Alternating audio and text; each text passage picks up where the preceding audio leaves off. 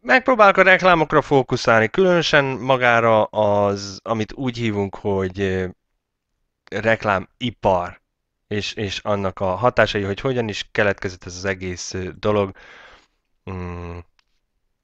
Úgyhogy ez, amit én rengeteg dolgot találtam erről az egészről. Most abban bele sem megyek még egyelőre, hogy hogy működik fizikálisan maga a televízió, maga a képernyőnek a, a, hatásai mik.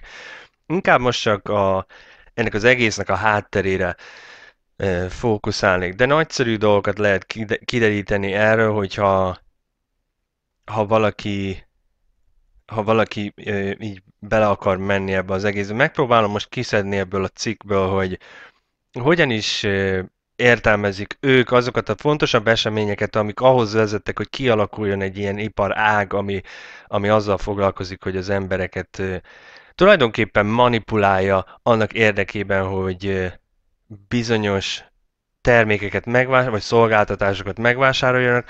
Ezen kívül természetesen az világos gondolom mindenkinek, hogy ahogyan az embert manipulálják annak érdekében, hogy megvegyen egy terméket, ugyanúgy kell manipulálni, hogy, hogy bármi mást megcsináljon, amit azok akarnak, akiknek lehetőségük van manipulálni az embereket. Szóval, hogy eh, időszámításunk előtt 4000-ből van, találtak egy, egy indián, most hogy indián, hogy indiai, vagy pedig ős, őslakos indián, azt nem tudom, hogy csak azon, hogy indián, egy, egy, eh, egy kősziklát festményt, ami, ami az első úgymond eh, otthonon kívüli reklámnak számított. Ezen kívül ugye nyilván voltak a, a papírus tekercsek, és már ezeken is találhatunk az eladásra kapcsolatos üzeneteket, de egyébként a görög, illetve a római időkből szintén fennmaradtak olyan pószterek, amik a talált tárgyakról szóltak. Szóval ez elég messzire visszanyúlik, nyilván mióta emberiség van, az ember, ember gondolkozott ezen, hogy hogyan lehet másokat meggyőzni, vagy pedig az akaratukat befolyásolni, szóval ez, ez visszamegy elég régre. Vörös Erik, azt hiszem mindenki ismeri, ha, ha jól gondolom, akkor Vörös Erik egy viking lehetett, és ő volt az, aki 900 85-ben, ez már időszámításunk szerint van, Grönland nevet a bevándorlóknak kitalálta. Grönland ugye azt jelenti magyarul, hogy zöld föld, vagy zöld terület. És ugye ezzel azt érte el, hogy azok az emberek, akik, akik ugye annak idején nem volt még ilyen, hogy bemegyek a boltba, megveszek ezt, azt, azt, meg a plázában megeszem a, a pattogatott kukoricát, azt viszlát, hanem akkor az embereknek dolgozni kellett annak érdekében, hogy enni tudjanak, és ehhez földre volt szükség, így azok az emberek, akik el akarták hagyni az otthonukat, ez nagyszerűen hangzott, hogy ezen a zöld földön, ezen a zöld földön ugye minden megvan, ami ahhoz kell, hogy ők meg tudjanak élni a későbbiekben, szóval ez talán az egyik legjelentősebb ilyen jellegű reklám idézőjelbe téve hadjárat, amit Vörös Erik eh, kitalált, és végül is ez az első úgynevezett márka, eh, legalábbis ők így írják, hogy, hogy ez az első márka, ami, ami a fogyasztóknak a, a képzeletét magával ragadta. Négy, négy fontos esemény történt az emberiség történelmében, ami, ami meghatározza Szóval az első az a nyomtatás. Az, amikor, amikor Gutenberg feltalálta magát a nyomtató gépet, és lehetővé vált az, hogy az ember szöveget papírra nyomtasson, és ezt tegye nagy mennyiségben és viszonylag gyorsan és sokkal olcsóbban, mint, mint mondjuk egy, egy írástudó lett volna, vagy az, aki lemásolja ezt az egészet. Szóval ez nyilván nagyban befolyásolta az emberiség történelmét, és ezzel, ezzel együtt magát a, a reklám ipart is. Ezek után a következő nyilvánvalóan maga a rádió volt, ahol ahol ez sokkal egyszerűbb volt és sokkal gyorsabb, és az emberek számára ugye sokkal egyszerűbben fogyasztható idézőjelben, hiszen, hiszen még olvasni egyrészt nem is mindenki tud, vagy tudott különösen, de ezek még aki tudott is, ugye ez időt igényel, és elég fáradtságos dolog, szóval míg, míg a rádió gyakorlatilag folyamatosan mehet, úgyhogy Úgyhogy a rádió az egy hatalmas előrelépést jelentett, nem csak a reklám vagy az emberiség történelmében, de különösen a propaganda és a programozás tekintetében a rádió természetesen egy mérföldkő volt. Olyannyira egyébként, hogy ugye ez az 1920-as évektől működik az Egyesült Államokban, maga a kereskedelmi rádiózás, és azt a stratégiát választották, legalábbis az volt az egyik, hogy, hogy ne kelljen megszakítani a rádió adást, hogy maga a címe a sorozatoknak magába foglalta a különböző termékeknek a nevét. Így, így kialakultak olyan sorozatok. Most néhányat felolvasok, hát ha ismerős mondjuk a The Voice of Firestone. Firestone ugye a az a gumi márka, az autógumi márka, és Firestone hangja, hogyha arról beszél, gondolom az, akkor The Bell Telephone Hour, ami, ami a Bell telefon óráját jelenti, gyakorlatilag telefonnak a márkája volt a Bell, és akkor így jutották az üzenetet. Természetesen voltak reklámok is, de ez volt az egyik. Ezek után ugye ezt mindenki kitalálta, hogy a televízió volt az, ami, ami meghatározta magának az iparnak a, a fejlődését, és nem csak az iparét, hanem az egész emberiségét. Sőt, szerintem a televíziózás, ami, amit a 20-as években találtak fel, de tömeges elterjedése az egészen az 50-es évekig váratott magára, ugyanis egyrészt a technológia nem volt képítve, másrészt nem volt megfizethető a tömegek számára. Azonban mindenki látja, hogy mekkora pusztítást végzett ez egy fél évszázad alatt, kialakult egy teljesen tudatlan és primitív világ. Nem, nem mondom, hogy addig nagyszerű volt, de 50 év alatt akkora ö, mentális pusztítást végzett a tévé, ami, amit csak az internet tudott felülmúlni, ami ugye a 90-es évek után terjedt el, különösen a, amit mi internetnek vagy világhálónak hívunk, az, az 1990-es években jelent meg, úgyhogy az internetnek sikerült felülmúlnia még a televíziót is, ilyen mentális, intellektuális és spirituális pusztítás terén sikerült elérni azt, amit a tévének mondjuk 80 évébe tellett, az internet ezt megoldotta, vagyis bocsánat, 60-70 évben, az internet ezt megoldotta 20 év alatt. A televízióval kapcsolatban még annyit, hogy hogy nagyszerű volt ugye a, a reklám ügynökségeknek, hiszen így, har, így félperces, egyperces kis filmeket tudtak gyártani, és ezzel sokkal hatékonyabb volt az üzenet átadása, magyarul a programozás, hiszen a kép és a hang együtt sokkal hatékonyabb, mint mondjuk a rádió, ahol, ahol csak a hang az, amivel hatást tudnak elérni. A kábel TV, ami a 80-as években alakult ki, ugye a kábel TV az, amikor amikor nem csak a, a ők úgy értik, hogy amikor nem csak azok a nagyobb közszolgálati csatornák, hanem elérhető volt ez a hatalmas választék, ami, ami ma van, és ekkor, ekkor vált az lehetővé, hogy, hogy különböző témákra kialakultak csatornák, mint ma van, hogy a főzés, akkor a, a, a sport, vagy zene, stb. És így, így még egyszerű volt, hiszen, hiszen a különböző demográfiai csoportok, azok eleve egy, nem csak demográfiai, hanem érdeklődésű csoportok, azok eleve egy helyen voltak, és ezáltal a program még jobban, egyszerűbben beszivágott a kis elméjükbe.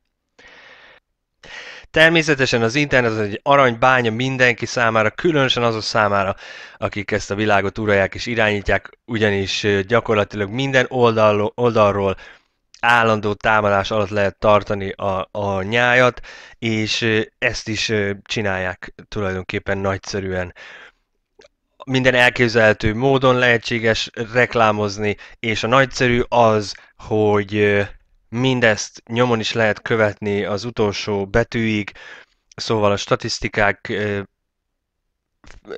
gyűjtésével még jobban lehet célozni az embereket. Nyilván reklám tekintetében fontos, azonban nekik soha nem ez járt az eszükben. A lényeg mindig a program volt, és az, hogy hogyan lehet terelni a nyájat, és az internet az az, az erre egy, egy szenzációs lehetőséget teremtett, amit ők teljes mértékben ki is használtak. Szóval nagyjából ez a történet, idővel, ahogy fejlődött ez az egész reklám dolog, kialakultak különböző ügynökségek idézőjelve téve, akik ezt szabályozták, és természetesen megjelentek a szabályozások, hogy valamiféle rendszert teremtsenek ebben az egészben. Hogyha valaki azt gondolja, hogy ez azért lehet, hogy, hogy igazságot mondják el nekünk, akkor tévednek. Ez pusztán szerintem még, több, még nagyobb kontrollt biztosít a hatalom számára. Nem mint bárki meg tudná fizetni. Bár érdekes, hogy Angliában, ahogy megnéztem az árakat, nagyon alacsonyak voltak, de mindjárt meg fogjuk nézni ez későbbiekben, hogy Amerikában hogy alakulnak a, a reklámok árai.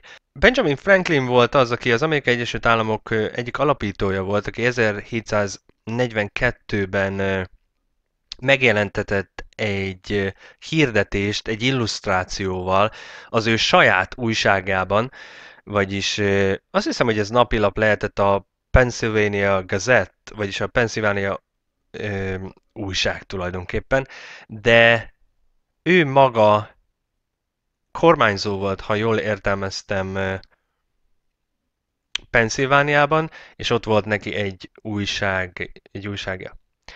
Ebben jelentetett meg egy hirdetést, egy illusztrációval, és az 1800-as évekre Azonban a módszerek megváltoztak, és az oka is megváltozott annak, amiért az emberek, és ahogyan az emberek hirdettek. Mm, maga a nyomtatás és az, hogy színesben lehetett, valamint hogy ez, ez viszonylag olcsó volt és hatékony, ez lehetővé tette azt, hogy különböző üzeneteket eljutassanak az emberekhez. Reklám ipar, ha úgy akarjuk hívni, a reklámiparnak a központja, az pedig az 1800-as években New York lett, és innen irányították, mint sok mást is a, ezt az ipar ágat. Ekkor még nyomtatásról volt szó, az 50-es években pedig a televízió megjelenésével ez az egész áttevődött egy teljesen más harc vonalra, és három nagy csatorna volt akkor, aki irányította magát a televíziót, illetve uralta, ez az ABC, a CBS és az NBC. Ezek voltak azok, ahol a reklám különösen fejlődött. Ami még érdekes az interneten, és most ezeket csak azért mondom el, mert bár úgy tűnik, hogy, hogy igazából jelentéktelen a dolog, de értse meg mindenki azt, hogy, hogy ez igazából nem a reklámokról szól. Képzelje mindenki el azt, hogy, hogy most a reklámokról van szó, például mikor azt mondjuk, hogy az internet alapú reklám az a viselkedést célozza meg. Szóval a hirdetők azok megfigyelik és nyomon követik a fogyasztóknak az online viselkedését, azáltal, hogy, hogy rögzítik a különböző azt, mindent, amit az ember online végez.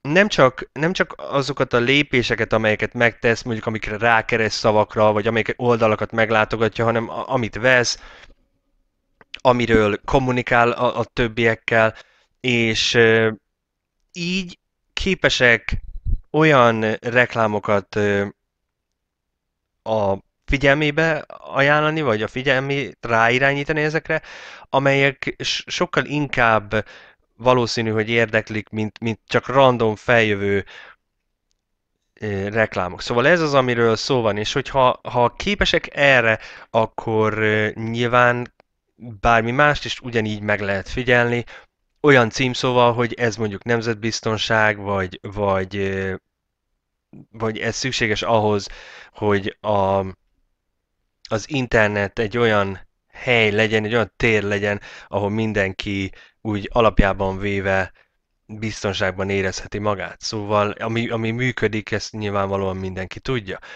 Úgyhogy igazából ez az, amire mindenkinek fókuszálnia kellene. Az, hogy a tévében mi megy, arra is ki fogunk térni, de, de most inkább azt szeretném bemutatni így az elején, hogy, hogy mennyi, mekkora üz, nem is az, hogy üzlet ez az egész, hanem mekkora befolyása van ez által magának a, ennek a manipulációnak vagy propagandának azáltal, hogy hogy ennyi pénz van ebben az egészben, ami majd mindjárt kiderül, hogy mennyi is valójában. Az Amerikai Egyesült Államokban 2015-ben 2015-ben az Amerikai Egyesült Államokban a mobil ö, reklám kiadás, ugye az, amit a reklámozók erre költöttek, az 19 milliárd dollár volt. Ja, bocsánat, 19 milliárd dollár volt 2014-ben. 2015-ben pedig azt jel, úgy jelezték előre, hogy 2016 végére ez 40 milliárd lesz. Szóval 10, 19 milliárdról két év alatt megduplázódott 40 milliárdra, és ez csak a mobil ez csak a, a mobil reklám, amiről, amiről itt szó van. Úgyhogy majd mindjárt mutatok még néhány statisztikát, mert mert szerintem érdekes azok számára, akik igazából látják a, az összefüggéseket, de mint ez az energia, ami, ami belemegy ebbe az egészbe, az ugyan, ugyan azzal a lendülettel belemegy az emberek manipulálásába is.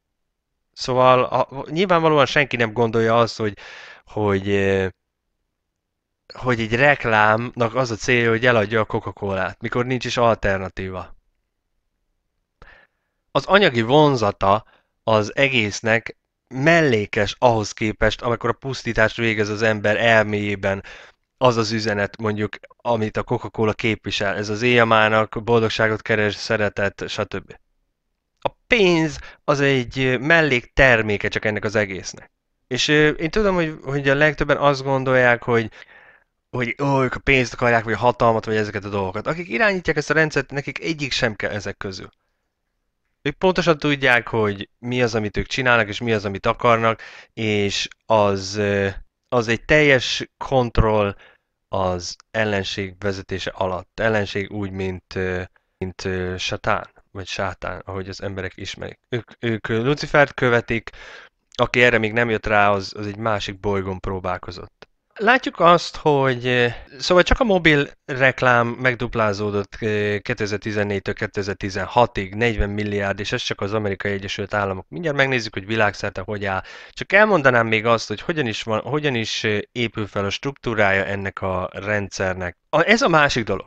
Az emberek azt gondolják, hogy hogy rengeteg a választék. Hogy be, bemegy valaki a boltba, és azt mondja, hogy ó, nézd meg, me, me, mennyi kóla van, vagy mennyi, mennyi szénsos üdítő, vagy mennyi újság, vagy mennyi tévécsatorna, vagy mennyi, mennyi e, valóságshow, mennyi autó. Igazából ugyanaz a 6-10 vagy 20 ember az, aki birtokolja ezt az mindet.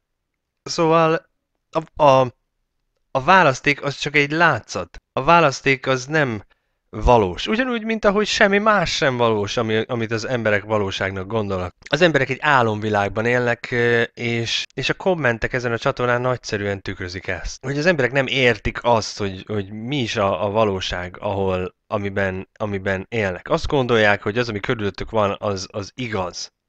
Olyan értem. Persze én tudom, hogy, hogy valóság olyan értem, hogy mi élünk, de igazából semmi sem igaz abból, amit, amit ott tapasztalunk ebben a világban.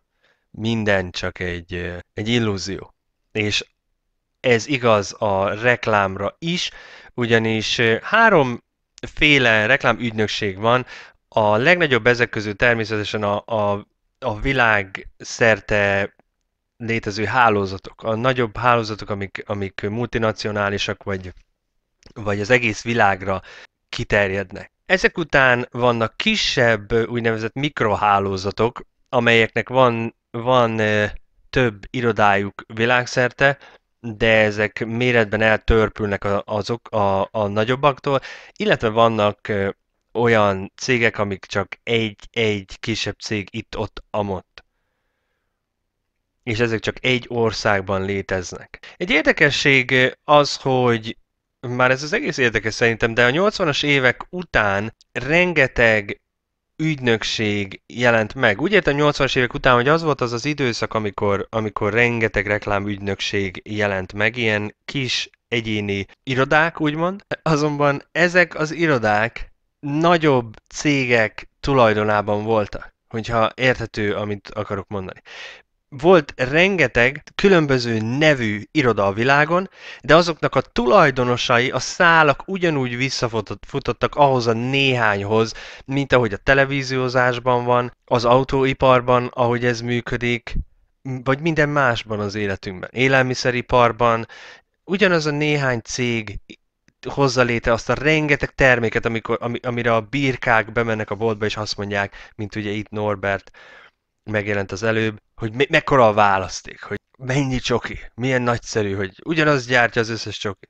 Ugyanaz gyártja az összes fogkrémet, ugyanaz gyártja az összes ö, üdítőt, ásványvizet, tisztasági betétet, teljesen mindegy. A választék az egy ö, illúzió. Ugyanúgy, mint ahogy az egész világ. Ezek közül a legnagyobb cégek, WPP, nem tudom, hogy mond ez valakinek is bármi, de az Omnicom, a Publicis Group, Interpublic és a Dentsu. Azért mondom el ezt, mert a, ezek különböző világ tájakon helyezkednek el. Dentsu például Japán és Ázsiában működik, az Omnicom amerikai, és vannak európai ügynökségek. Szóval a lényeg az, hogy, hogy az egész világ le van fedve, és ugyanazok irányítják ezt is, mint akik irányítják az összes többi dolgot így megmarad a rengeteg különböző ügynökség, és ezek közül ráadásul még, még elindult egyfajta olyan specializáció, hogy ezeken az ügynökségek, ezeken a legnagyobb ügynökségeken belül egységek a, a vállalaton úgymond belül specializálódtak egy-egy cégre. Például, mint a Ford vagy a Colgate Palmolive, egy, egy ágazata ennek csak ezekkel foglalkozott, és ezek számára gyártott, gyárt és gyártott reklámot nem csak mondjuk televízióra, hanem az összes platformra és az összes lehetséges médiumra. Minden, remélem, hogy értető az, hogy, hogy a, amit ebből ki akartam hozni, az az, hogy, hogy ugye kitaláltak egy rendszert arra, hogy hogyan lehet a világot irányítani. Ezt alkalmazzák minden területén a világnak. Az emberek csak nem értik, mert a legtöbb ember nem így működik. A legtöbb embernek nincs rendszer az életében. Csak egyszerűen éli a világát. Ők azonban kitalálnak egy rendszert, és azt, azt utána minden más területére az életnek átalakítják és átteszik. Ugyanez érvényes a médiára is olyan értelemben a médiára, hogy nyilván maga a reklámipar az független a médiától olyan szempontból, hogy különböző másfajta képességeket, tudást, szakembereket igényel, nyilván összefonódnak, hiszen az egyik nem tud létezni a másik nélkül, illetve a reklámnak tulajdonképpen felületet nyújt a média, de a média egy, egy különálló ipar, mint a tévé, rádió, vagy, vagy a nyomtatott sajtó. Azt is néhány cég irányítja, és az az a néhány cég, ami meghatározza az irányát. Most amit ebből ki akartam hozni az az, hogy bár úgy tűnik, hogy rengeteg termék van, és rengeteg fajta reklám és elképzelés mind-mind ugyan oda vezet vissza. A probléma az, hogy az ember, az átlagember elvesztette a, a képességét, hogy gondolkodjon. Nem látja meg az összefüggéseket, de nem is érdekli. És ez a legnagyobb probléma ebben az egészben. Így, ez, ez az oka annak, hogy ezt, ezt meg tudják csinálni, amit csinálnak. Hogy az emberek nem képesek észrevenni az összefüggéseket. Azt gondolják, hogy azért csinálnak termékeket, hogy nekünk jó legyen. Hogy azért találnak, hogy azért van ennyiféle fogkrém, vagy víz, vagy csoki, vagy tévé, vagy, vagy, vagy futballklub, mert, mert ez egy természetes folyamat. Egyik sem természetes folyamat ez egy illúzió annak érdekében, hogy az ember azt gondolja, hogy, hogy ő neki van választási lehetősége. Ugyanígy működik a politika is. Pontosan ugyanígy.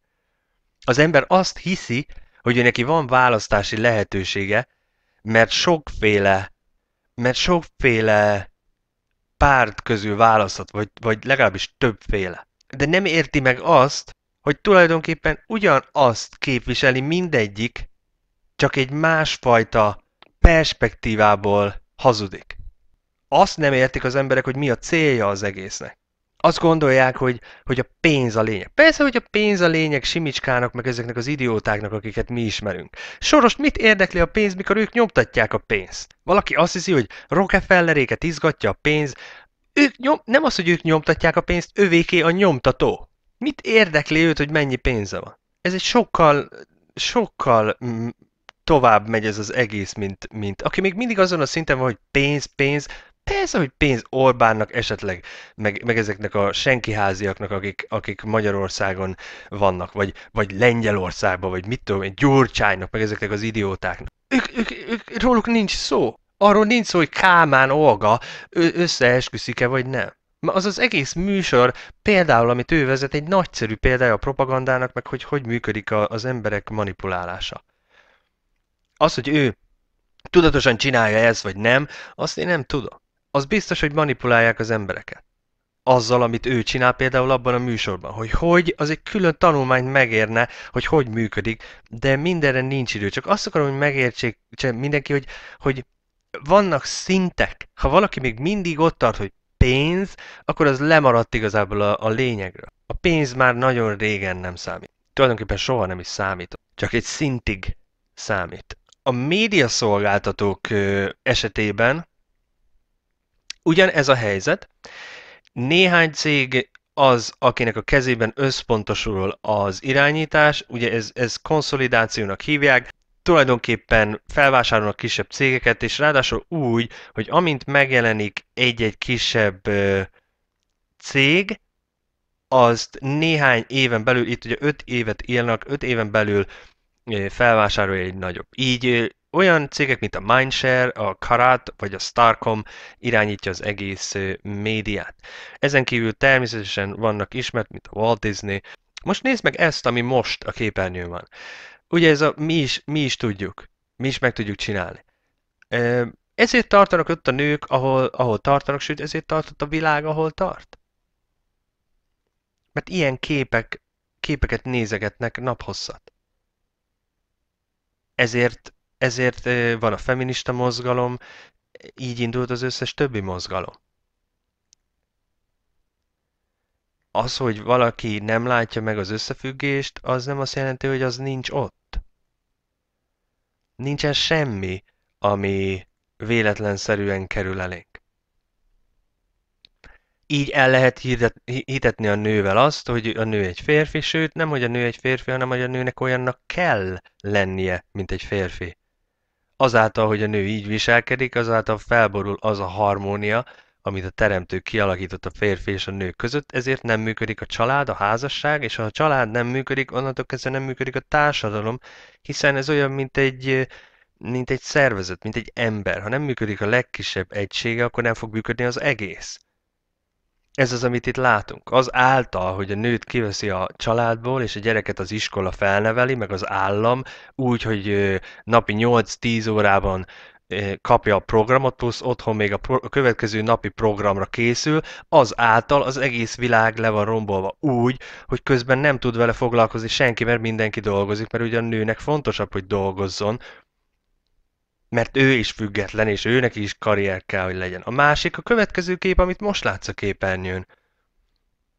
Ezek azok, amiknek ö, ö, ö, köszönhető az, hogy, hogy idáig jutottunk, hogy a legtöbb ember beszélő majomnak képzeli magát, és azt gondolja, hogy egy, egy gömbön száguld az űrben körbe-körbe.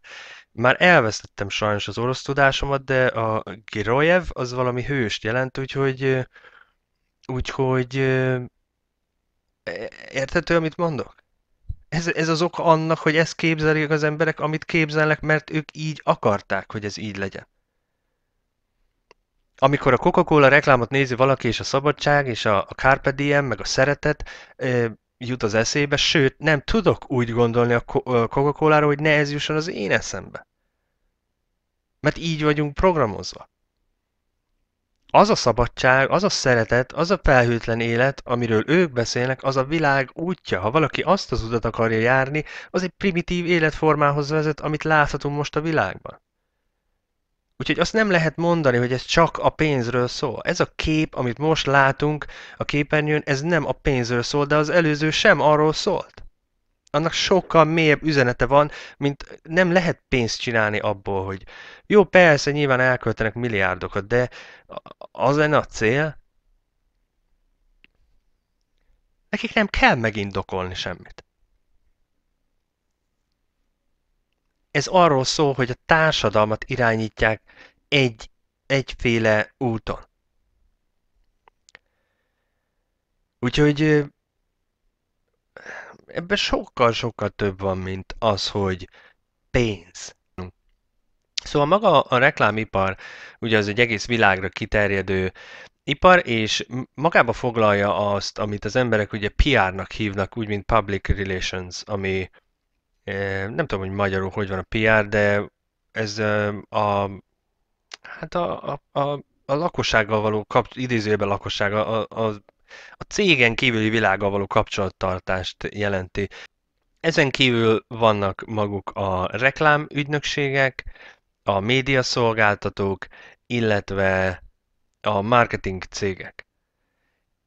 Azt írja ez a cikk, hogy ez az ipar napjainkra nagyjából néhány nemzetközi cég által irányított. Ez, amit mondtam az előbb, a WPP, az Omnicom, a Publicis Group, az Interpublic és a Denso. Ez egy, egy nyilván egy multimilliárd dolláros üzlet világszerte. Ezt ugye láthatja mindenki most már, ez statista.com statisztikával foglalkozó oldal, de van számtalan másik, úgyhogy meg fogjuk nézni. De egyelőre nézzük meg ezt. Szóval az Egyesült Államok a legnagyobb piac természetesen ebben a műfajban. 2016-ban 190 milliárd dollár, dollárt költöttek reklámra az Amerikai Egyesült Államokban. 190 milliárd dollár.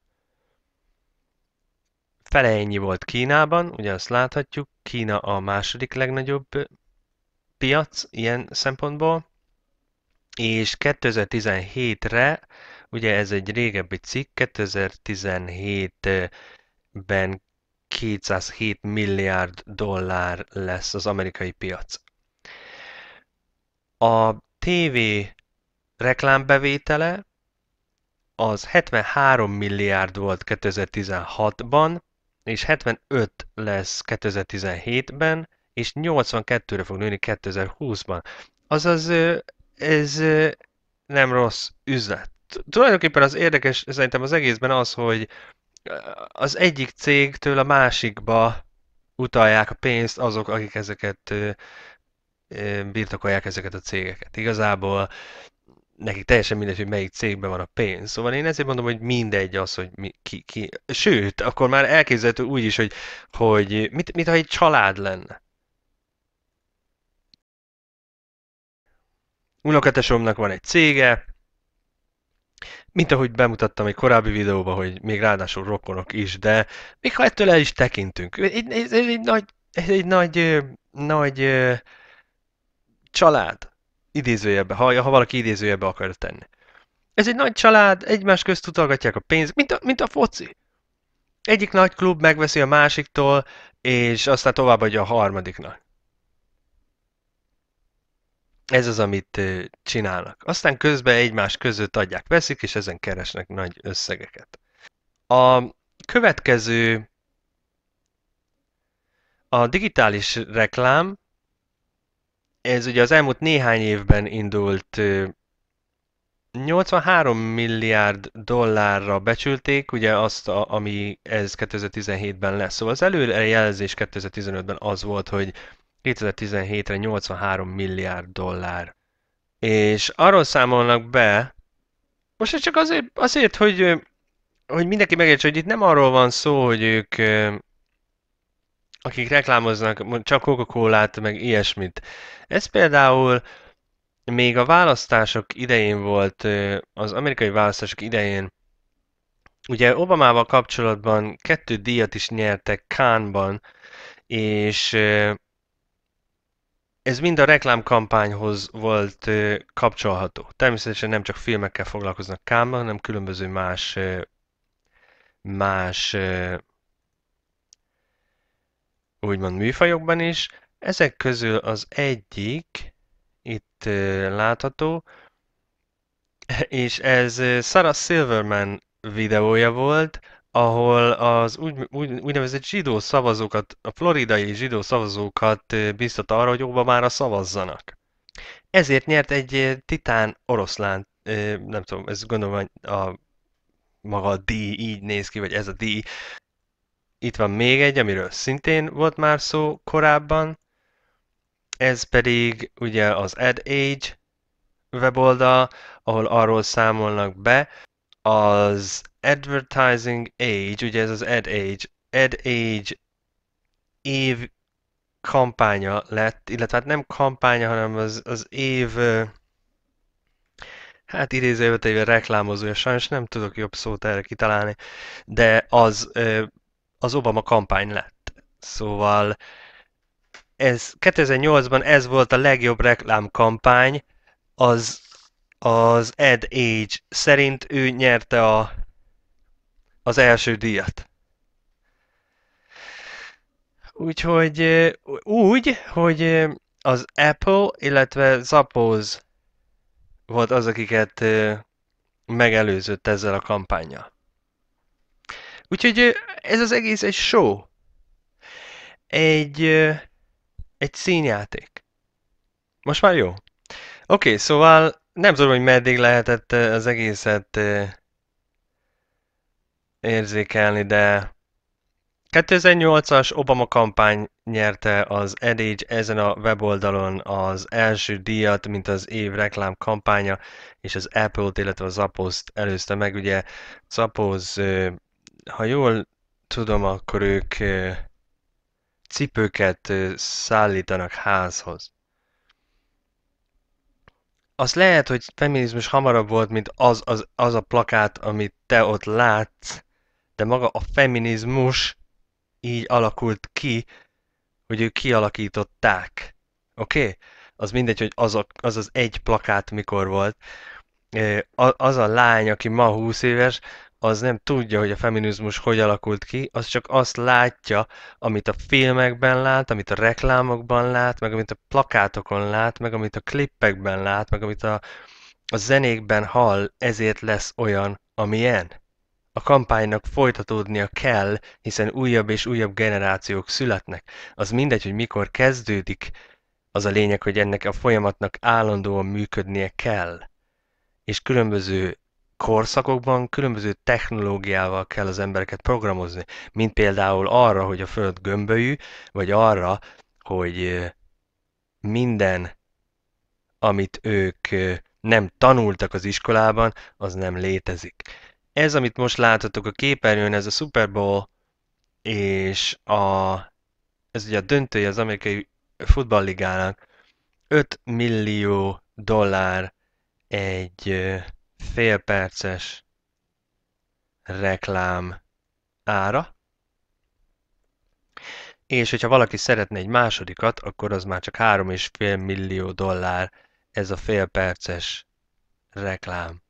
Ez ugye a Super Bowl-ra vonatkozik, ami egy speciális eset, de azért mégis elgondolkodtató, hogyha egy félperces reklám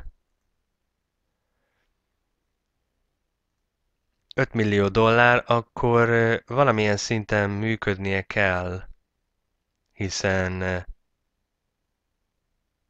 minek költene valaki fél millió vagy 5 millió dollárt rá, hogyha az egész csak egy pénzkidobás.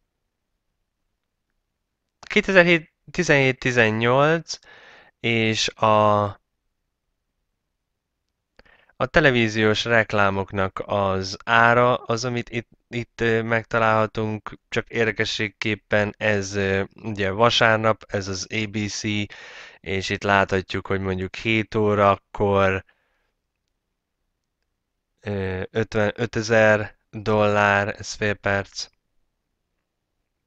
szintén 8-tól ugye 60 ezer, és akkor szépen halad fölfele az amerikai, American Idol, az nem tudom, hogy mi magyarul, de valami éneklős, valami 180 ezer dollár. Szóval csak azt akartam megmutatni, hogy azért ez mondjuk már Fox, és itt is olyan 76 ezerről indul, fölmegy egészen, ugye a Family Guy 130 ezer, és 8 órakor az NBC-n ez a vasárnap esti futball 728 ezer dollár egy félperces Hát utána már a propagandáról akartam beszélni, de erre már most nem lesz idő, attól tartok. Ja igen, és nem osztottam meg a képernyőt. Nem baj. Az a lényeg, hogy hogy igazából az egészből be azért akartam így felvezetni. Én, én szere, hogyha csinálok valamit, én szeretek utána nézni a dolgoknak. És úgy gondoltam, hogy miért ne kezdenénk el azzal, hogy hogy is alakult ki ez az egész, hogyan működik, kik azok, akik irányítják, és mi a struktúrája, valamint látjuk, hogy, hogy mennyibe kerül, és hogy mennyi pénzt költenek erre az egészre. Hogyha ha ennyi pénzt költenek rá, és láthatjuk, hogy a politika ugyanúgy részt vesz ebben, az egész tulajdonképpen egy nagy ö, család. A lényeg pedig az, hogy beférkőzzenek az emberek agyába, és azt valamilyen módon manipulálják, és ez pontosan az, amit csinálnak. Ezt mindenképpen megmutatom. Ez ugye már ez a variety.com, és itt azt láthatjátok, hogy melyek azok a, bocsánat, legdrágább műsorok, melyekben hirdetnek. Szóval hirdetések szempontjából melyik a legdrágább. Ugye erről már volt szó a vasárnap futball, ez NBC, ez 2016-ban 650 ezer dollár volt fél perc, míg 2015-ben 637 ezer volt. Ugye itt láthatjuk azt, hogy mennyi a változás. Csütörtök esti futball, ugye CBS-en, NBC-n, a Walking Dead, az AMC-n ez 470 ezer volt, 2016-ban 30 ezer dollárral csökkent, Ezután különböző tévésók láthatók. Akit érdekel, megnézi, kiemelném a Big Bang Theory-t, ha már a programozásról van szó, ha sztárról nem is beszélve, de gyakorlatilag mind ilyen vagy olyan módon a programozás szolgálja.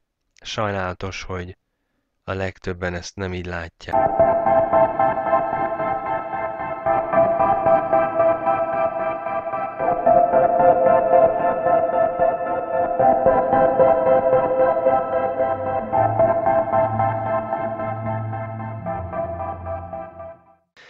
De mindegy is, térjünk rá arra, ami, ami a téma lenne, ez pedig nem más, mint a propaganda. Úgyhogy én szép lassan el is kezdem, aztán meglátjuk, hogy hogy haladunk.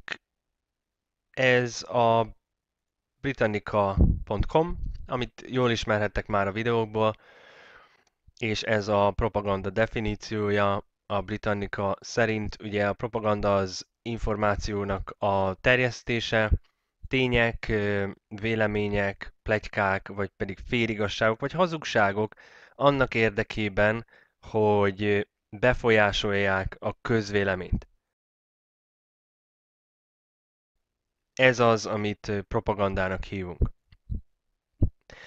A propagandának az eszköze az effektíve a televízió és különböző médiumok. Úgyhogy amit a tévében láttok, az újságokban olvastok, az interneten, a, a mémek, vagy a, ezek a viral videók, amik, amiket megnéznek tízezrek egy nap alatt, ez mind-mind a propaganda része, ezek igazából olyan dolog, ami organikus, és eljutna az emberekhez, és valódi információt hordoz, nagyon kevés olyan, olyan ö, anyag az, ami, amit fellehetünk az interneten, és, és nagy tömegek látják.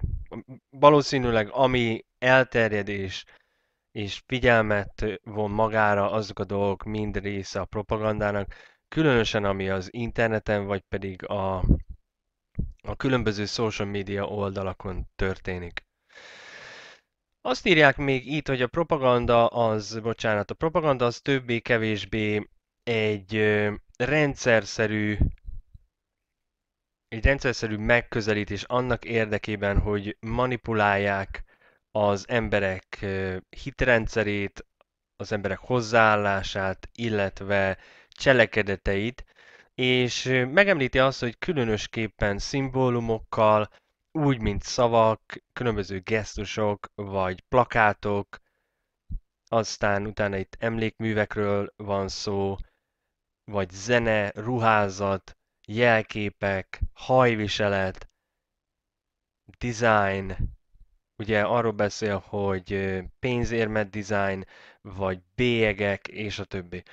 Úgyhogy mindenki el tudja képzelni, hogy mi az, amire gondolnak. Ezért is mondtam, hogy hogy minden, ami, ami hozzánk eljut, az a propaganda része. E, ezek közül tulajdonképpen, ha elég csak a kéz jelekre, ha gondol az ember, amit legtöbbször használ ő maga, vagy lát a világban, ezek mind valahonnan erednek. Azt gondolni, hogy például a, győzelem, a, a középső, meg a mutatói, az a V, vagy mondjuk a rockzenében ismert a kisúj és a, a mutatóúj, vagy a hüvelykúj felmutatása, hogy ezek a dolgok csak úgy egyszerűen véletlenül megjelentek, és, és mi ezt használjuk, és ez teljesen ártalmatlan, csak azért, hogy jobban kommunikáljunk, az, az egy na, nagyon naív hozzáállás. Mindennek persze megvan a, az úgymond exoterikus jelentése, ami, ami az elsődleges jelentése, amit kifelé a tudatlanok érzékelnek, a világ túlnyomó többsége, és megvan az ezoterikus jelentése, ami a másodlagos, ami, amit azok tudnak, akik idézőjelbe beavatottak. Ilyet számtalan dolgot ö, ismer az ember, de nagyszerű példa a V, mint Viktória vagy a győzelem jele, amire ugye mindenki azt gondolja, hogy az azt jelenti, hogy Viktória V közben már több ezer évvel ezelőtt a szabadkőművesek használták ezt a jelet, közösen volt akkor ehhez. Az a lényeg, hogy van egyfajta sötét erő a tudatlanságban, azok számára, akik a tudás birtokában vannak. Az emberek szerintem nem fogják ezt fel, de a hazugság az egy, és erről is volt már szó korábban, de a hazugság mögött van egy sötét erő. Azt gondoljuk, hogy legalábbis a legtöbben szerintem egy, egy ilyen anyagi létezésben élik az egész életüket, és nem értik azt, hogy, hogy, hogy valóban a, a hazugság az, az egy sötét erő, és nem úgy értem, mint egy, mint egy szörnyeteg vagy ilyesmi, hanem táplál egyfajta spirituális szellemiséget, ami egy létező dolog, csak mi nem érzékeljük. És azáltal, hogy a legtöbb ember hazugságban éli le az életét, így az egész világ egy nagy hazugság lesz. Így, így az a szellemiség, ami a hazugságból táplálkozik, az, az, az káoszt tud okozni a világban, és azt is okoz. A tudatlanság pedig ezt lehetővé teszi. Az, hogy egyrészt elhiszik az emberek a hazugságot, másrészt ők maguk terjesztik azáltal, hogy erről beszélnek, mintha igaz lenne.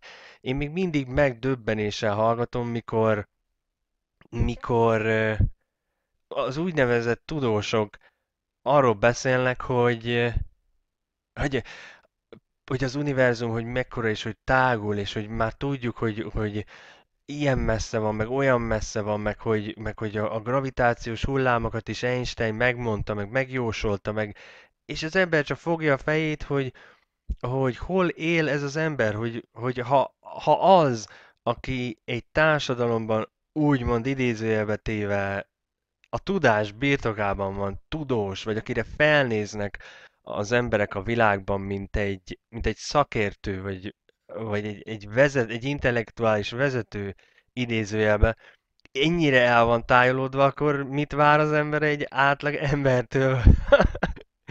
mit vár az ember egy átlag embertől, hogyha az, aki állítólag tudja, az hiszi, hogy ilyen dolgok léteznek, aminek köze nincs a valósághoz. És míg szerintem egy száz évvel ezelőtt, mondjuk nagyanyámnál fogalma sem volt, jó, hát nem száz, de mondjuk legyen 70. 70 évvel ezelőtt őket nem érdekelte e- ez, ez a dolog, hogy mekkora az univer. Nekik fogalmuk sem volt ezekről a hazugságokról, hogy ilyenek léteznek. Nem is, nem is érdekelte.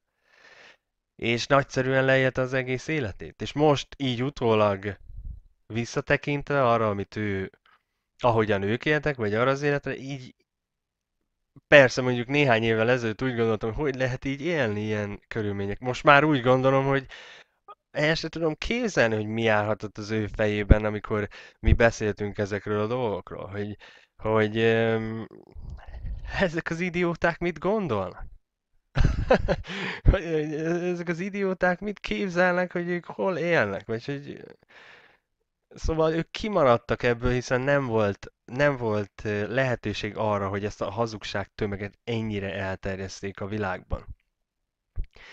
De térjünk vissza a Britannikához.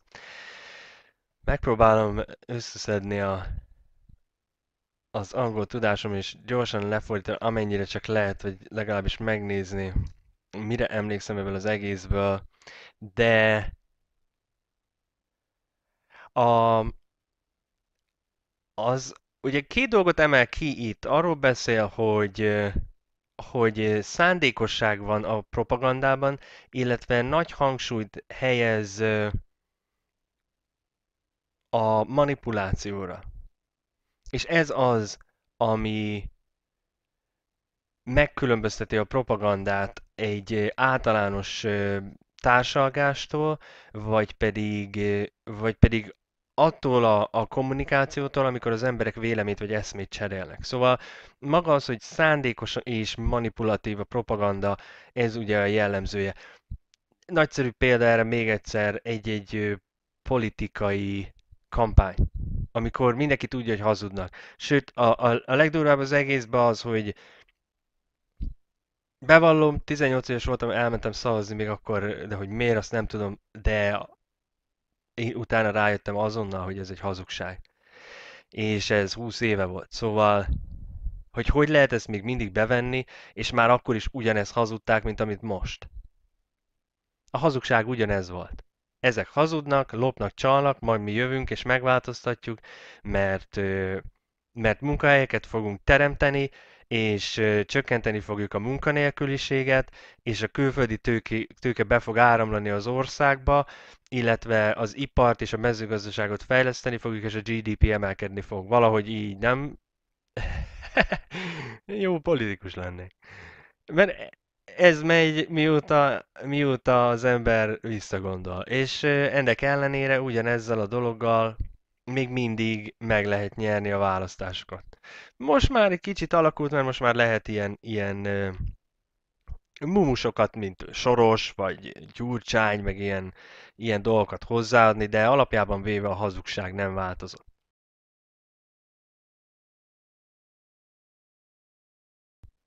És ha az emberek vennék a fáradtságot arra, hogy utána néznek ezeknek a dolgoknak, ami, mint láthatjátok, kettő perc körülbelül, akkor megértenék, hogy, hogy még ha nem is az, hogy az egész egy hazugság, de az, hogy ó, hoppá, akkor ha ezt jelenti a propaganda, mint például ugye azt mondja, hogy a propagandistának van egy specifikus célja, illetve céljai, amit el szeretne érni. És annak érdekében, hogy ezt elérje, ugye szándékosan úgy válogatja az információt, a tényeket, a vita, vita az érveket, és úgy jeleníti meg ezeket a szimbólumokat, valamint prezentálja azt az embereknek, hogy a lehető leg, legjobb hatást elérje annak érdekében, hogy, hogy manipulálja az emberek gondolkodás módját. Ezen kívül még annak érdekében, hogy tovább fokozza a hatást, eltorzítja az információkat, vagy pedig egyszerűen kihagy belőle olyan adatokat, amelyek fontosak lennének. Ezen kívül még megpróbálja a, ugye a, a célközönségnek a figyelmét elirányítani bizonyos dolgokról. Bármi másról, ami, ami nem az ő propagandája. És ez egy nagyszerű példa erre a Laposföld. A Laposföld nem része a propagandának, ugyanúgy, hogy a chemtrails, meg az összes többi. Ezért nem csak, hogy hazudnak erről az egészről, és létrehoznak olyan intézményeket, amelyek ezeket tagadják, vagy, vagy valamiféle módon éppen támadják, vagy pedig ezeket terjesztik, hiszen az információ ellenőrzése, illetve kontrollja egy nagyszerű lehetőség számukra, hogy, hogy azt szabályozzák. Erről, erről beszélt itt az előbb a Britannica, hogy, hogy eltorzítják az információt, vagy pedig elterelik a figyelmet. Ugyanúgy, ahogy a tévében megjelenik maga a laposföld, és azáltal, hogy nevetségesé teszik, így elterelik az emberek figyelmét, úgy vannak az emberek vele, hogy ah, mit érdekel engem, ez csak egy idióta az, aki erről beszél. Úgyhogy ezeket láthatjuk itt megjelenni a saját életünkben. Az, hogy az emberek nem hajlandók ezt tudomásul venni, az már, az már ugye az ő problémájuk, de, de szó szerint feketén-fehéren le van írva, hogy mik azok a módszerek, amelyeket alkalmaznak. És szerintem aki figyel, az gyakorlatilag mindegyiket észre tudja venni a, a, az úgynevezett valóságban, amit, amit ő, ő valóságnak hív. Egyébként meg így van, amit Gyula írt, a Propaganda Fidei, ha jól mondom, az a katolikus egyház volt az, aki először használta, ha jól értelmezem magát a propaganda szót, egyébként erről beszélni fogunk később. Mm, amit Gábor írt, az Edward Bernays, Edward Bernaysről rengetegszer volt már szó, és a Propaganda című könyvéről én nem találtam meg magyarul, de ha valaki, bárki, aki megtalálta magyarul, mindenképpen mindenképpen ossza meg, mert én nekem van egy angol példány, de nem tudom igazából használni, mert le kellene fordítanom ahhoz, hogy így, így használható legyen egy-egy videóba, videóban, és nincs ahhoz, nincs ahhoz kedvem, de lehet, hogy az lesz. mivel rendkívül informatív a propagandával kapcsolatban, és mi, minden, amit, amit arról érdemes tudni. Úgyhogy Edward Bernays propaganda, aki, aki csak teheti, mindenképpen olvassa el. Mm, az a kérdés, hogy ki, akik használják ezeket a kézjeleket, ez állandóan előjön ez a kérdés, és én szerintem lehet, hogy nem érdemes elveszni már ebben, de ha, ha felmerül ez a kérdés, hogy mondjuk tudatosan használja vagy nem, erre mindig ugyanaz lesz a válasz, és az pedig az, hogy ahogy följebb haladunk a, abban a képzeletbeli, azon a képzeletbeli piramison, úgy egyre inkább tisztában vannak az emberek azzal, hogy mit is csinálnak valójában. Egy padödő nem vagyok benne biztos, hogy tisztában volt azzal 20 éve, hogy a megjelenésével 20 évvel később eh, mozgalmakat fognak indítani Amerikában, ugye, aki, aki a, az elhízást eh, kritizálja, vagy a, a rövid hajú, felnyírt hajú nő, a, a, a leszbikus dolog. Ők, ők nekik erről fogalmuk sem volt. De, de sőt, én nem is, mond, nem, nem is azt akarom mondani, hogy ezek a dolgok eh, feltétlenül hogy mondjam, engem érdekel, hogy ő milyen. Csak azt akarom mondani, hogy most már így visszatekintve mi látjuk, hogy mennyivel előrébb járt a propaganda, mint ahol mi voltunk. Mi csak egyszerűen hallgattuk, láttuk azt a zenét, megérezte mindenki, hogy ezek ilyenek vagy olyanok. Fogalma sem volt senkinek arról, hogy ma hogyha követi az eseményeket az ember, akkor látja, hogy Nyugat-Európában mozgalmak épülnek erre, amik, amit ők képviseltek akkor. És a lényeg nem az volt, hogy mindenkit meggyőzzenek arról, hogy ez jó vagy rossz. A lényeg az volt, hogy ez bekerüljön a köztudatba. És pontosan ez az, ahogyan a propaganda működik.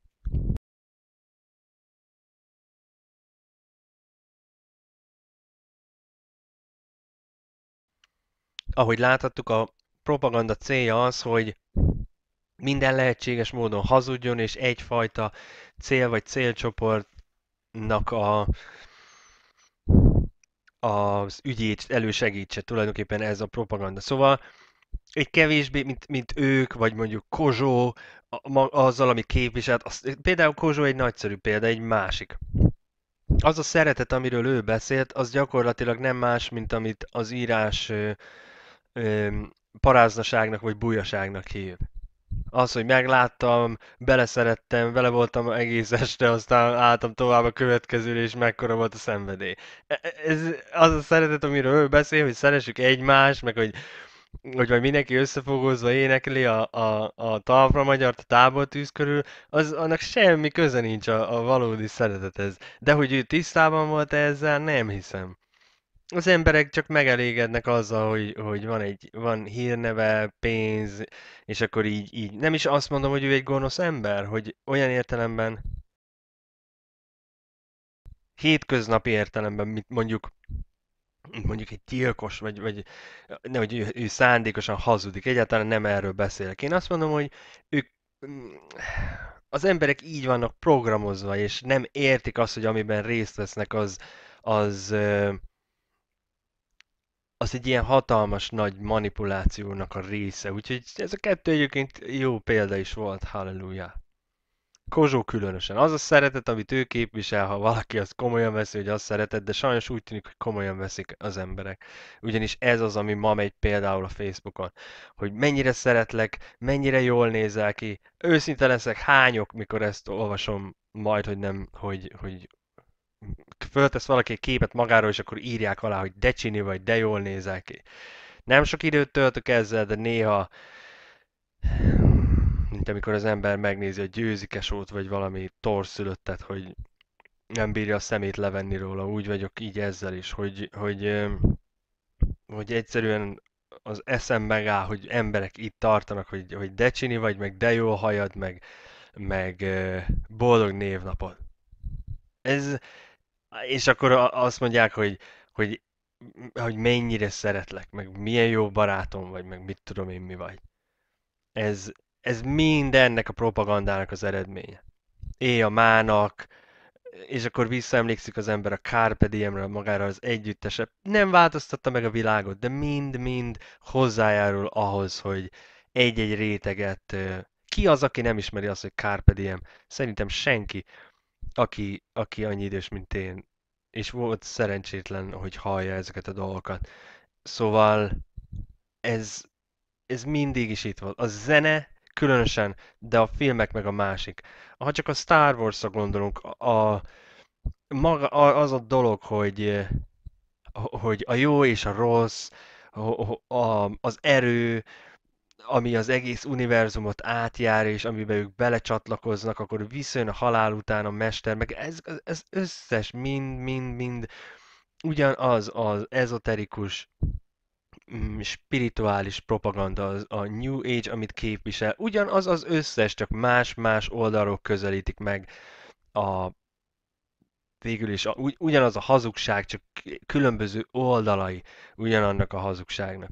És vége hossza nincs. A, a filmek, amiket az embereknél, különösen a romantikus filmek szerintem óriási pusztítást végeztek, és az egész emberiség agyában, de főként a, a nőkében azzal kapcsolatban, hogy mi is a szerelem, mi is az, ami, mi is egy nő feladata, mi is egy, egy férfi feladata, hogyan is működik egy kapcsolat.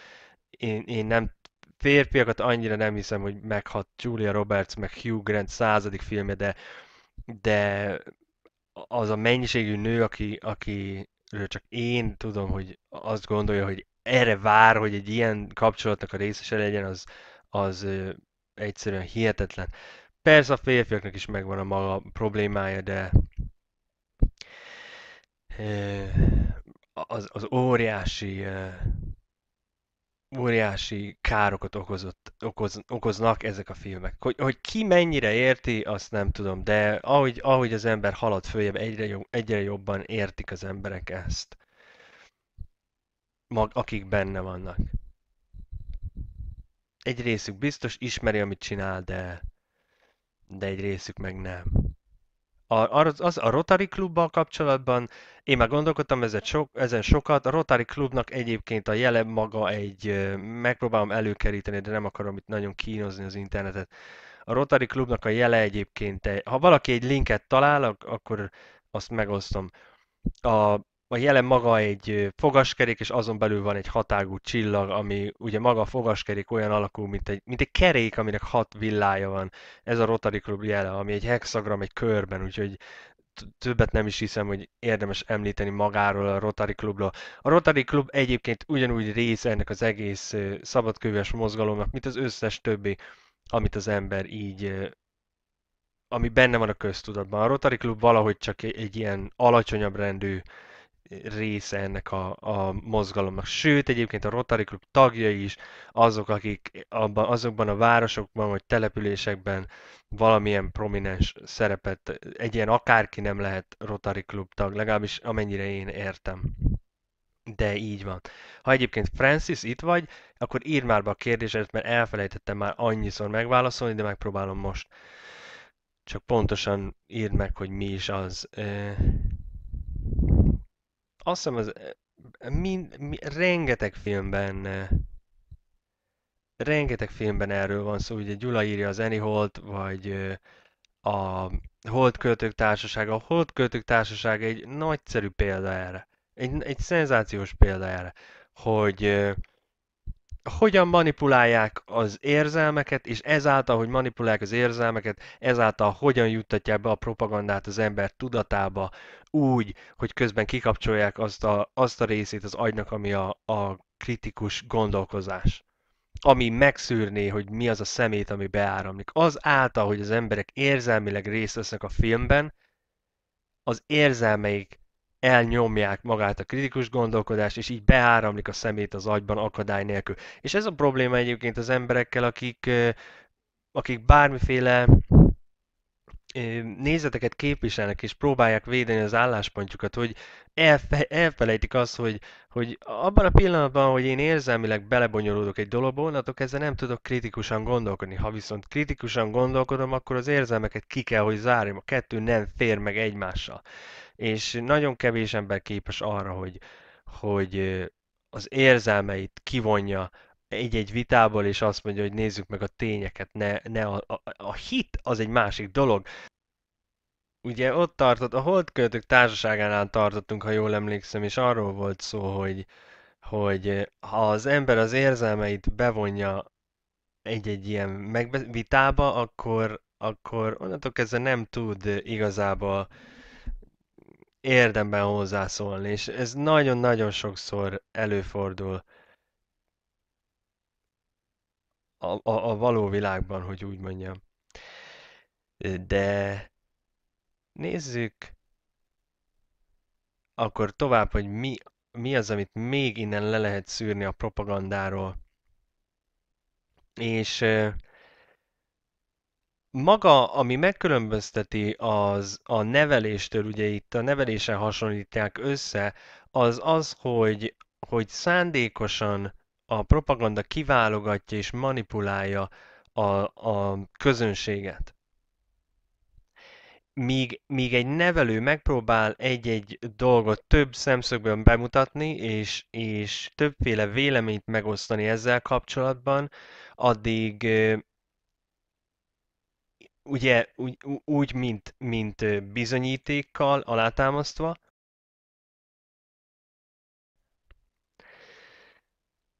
és kiértékelve azt a, a bizonyítékot, annak érdekében, hogy, hogy segítse a döntéshozást, addig, addig a propaganda az, az, ahogy láttuk, az manipulálja ezt az információt, kihagy információkat, hozzátesz, hazudik, minden, ami, ami az ellenségre jellemző. Úgyhogy ez a különbség a propaganda és a valódi és a valódi nevelés között. Ugye in, innen tudjuk, hogy nincsen valódi nevelés az oktatásban, hiszen az oktatás egy oldalról közelíti meg a, magát az információt, az pedig az, ami ö, el van, ami elfogadott a köztudatban. És az az, amit ők ott prezentálnak, ezt hívják oktatásnak. De igazából vita nem létezik. Amit a tudomány nem tud bebizonyítani, az nem létezik. Úgyhogy valódi oktatás az, az mint olyan jó ideje már nincs. Propaganda azonban annál inkább. És itt láthatjuk azt, hogy megemlítik magát a, bocsánat, a propaganda szót, és ahogyan Gyula is említette, ez a kongregáció de propaganda fide, ami azt jelenti ugye, hogy hát a, a hit terjesztésének a gyülekezete valami ilyesmi lehet, de meg fogjuk nézni magyarul ezt, ez a katolikus egyház volt az, aki ezt létrehozta egyébként. Egy pillanat.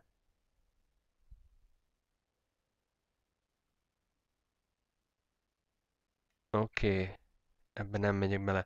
Azután később Leninről is szó van, itt ugye őt nem lehet kihagyni, és a kommunizmust. Természetesen maga a kommunizmus azért jött létre, hogy egyfajta mumus legyen az embereknek, és kialakíthassák a hidegháborút. Az egész politika is tulajdonképpen maga a történelem, és nem más, mint propaganda. És így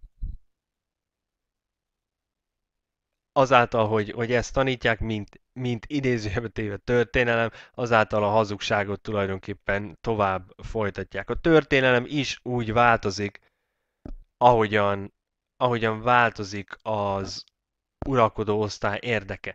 Az, ami 20 éve ellenforradalom volt, az most forradalom, ami akkor szabadságharc volt, az, fel, az lázadás.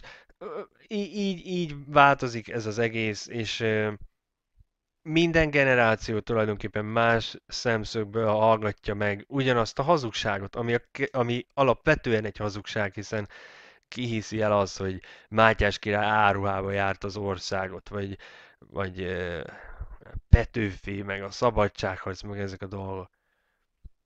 De gondolom, hogy vannak rengetegen, de remélem, hogy előfordul azért az is, aki elgondolkozik ezeken.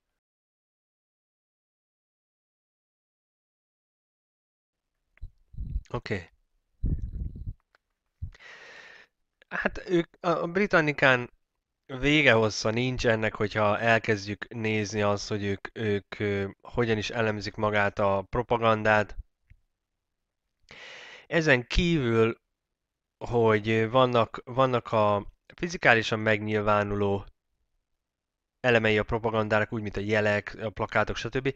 Ezen kívül van egy úgynevezett nem szimbolikus része is, mint például a gazdasági, vagy pedig a, a különböző kényszerítő eszközök, illetve módszerek, amiket a, a propaganda használ annak érdekében, hogy egy közvetlenebb hatást elérjen a célközönségen, amit, amit gyakorlatilag nap mint nap tapasztalhat mindenki. A, a saját életében.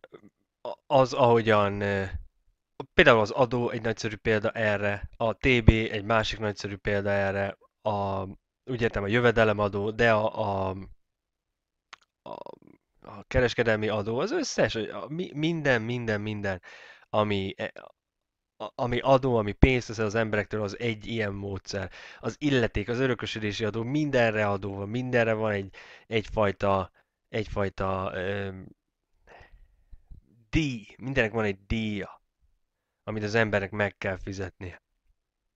Elkerülhetetlen az, hogy megemlítsük a pszichológiai hadviselést, ami, amit láthatunk nap mint nap, különösen manapság. Ez valahogy átalakult az egész, egész média egyfajta pszichológiai hadviselésben ben használt fegyverré. E- Effektíve a hazugság ömlik gyakorlatilag mindenhonnan állandóan, és az emberek nem értik meg, hogy a Reuters és az Associated Press, ha jól mondom a nevet, ami tulajdonképpen egy cég már, ez az, ami a híreknek a 90%-át terjeszti a világon. Szóval mindenki ugyanazt a hírt hallgatja Kambodzsától Magyarországig, ugyanazt a hazugságot, és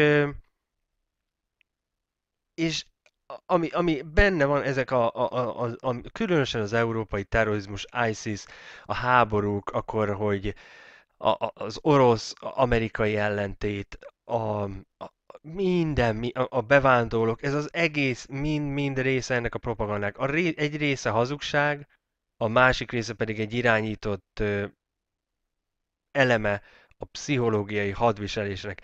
Ezt hívják pszichológiai hadviselésnek.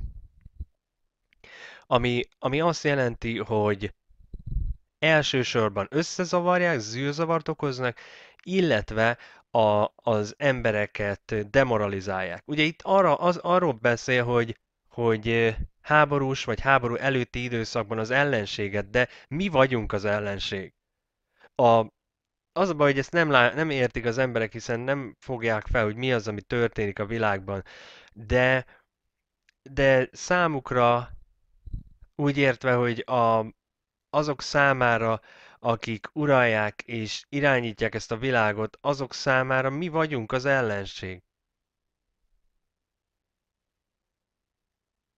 Ezért ők alkalmazzák azokat, a, azokat az eszközöket, amelyeket használnának egy háborús áll, állapotban, vagy egy háborús helyzetben.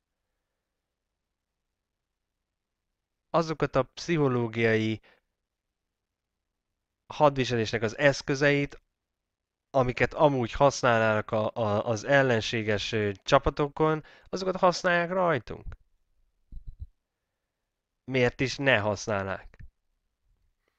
Ennek a fegyvernek az egyik legnagyszerűbb eleme az a televízió.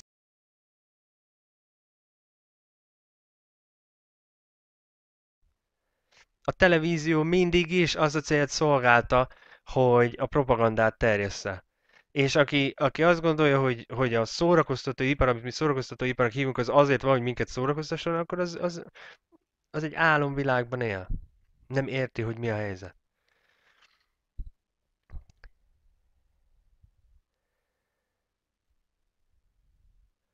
A... Oké, okay, visszatérek a tévéhez inkább. Mert a kérdéseket akartam nézni, de már innen nem tágítok akkor. Szóval ez a pszichológiai hadviselés. A, az, amikor látjuk a, a megrendezett támadásokat a tévében, az pszichológiai hadviselés. Ki, kialakít egyfajta félelmet, egyfajta gyűlöletet egy népcsoporttal szemben, ugyanakkor a társadalmon belül is több csoportot alakot ki, aki a, a, alakít ki. Ez egyik azt mondja, hogy nem ő tehet róla, aki, aki ne, nem minden ilyen ember rossz, nem minden olyan ember rossz, nem lehet így, nem, ez az egész egy, egy csak zűrzavart kelt és demoralizálja az embereket.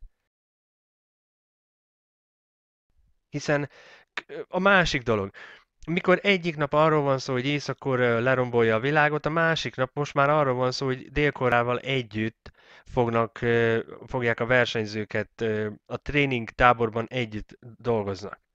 Az emberek nem fogják fel, hogy most akkor mi van, hogy most akkor ellenségek, vagy nem.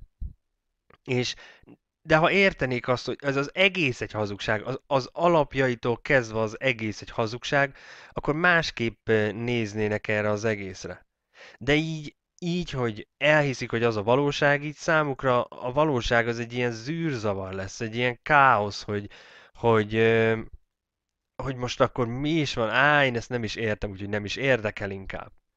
Közben, hogyha ha belegondolnának, akkor, akkor átlátnák az egészet, hogy tulajdonképpen csak az, egy, ez egy játék az ember agyával, az, sőt nem is az agyával, az, az ember elmével az, ami, ami történik amit legalábbis számunkra ott előadnak, hogy, hogy az a valóság. De mondom, az atomprogramok és az űrkutatás az, ami, ami az egészet tulajdonképpen el, elárulja. Mi, minden ország, aki részt vesz a, az atomprogramban, vagy a, az űrkutatásban, azt lehet tudni, hogy ők, ők hazudnak. De ezt tudom, hogy nehéz az embereknek megemészteni ezt a dolgot. A következő az ugye nehéz kihagyni ebből az egészből, ez az úgynevezett agymosás, vagy a brainwashing angolul, ami szintén egy propagandához hoz csatolható fogalom, és ezt valószínűleg mindenki ismeri a, az agymosást, ezt ugye nehéz nem ezt erről nehéz nem hallani az agymosásról, de Mindjárt megnézzük, hogy mi az, amit a, a Britannica ír az agymosásról. Előtte azonban megosztanék egy képet, ha már az agymosásnál tartunk.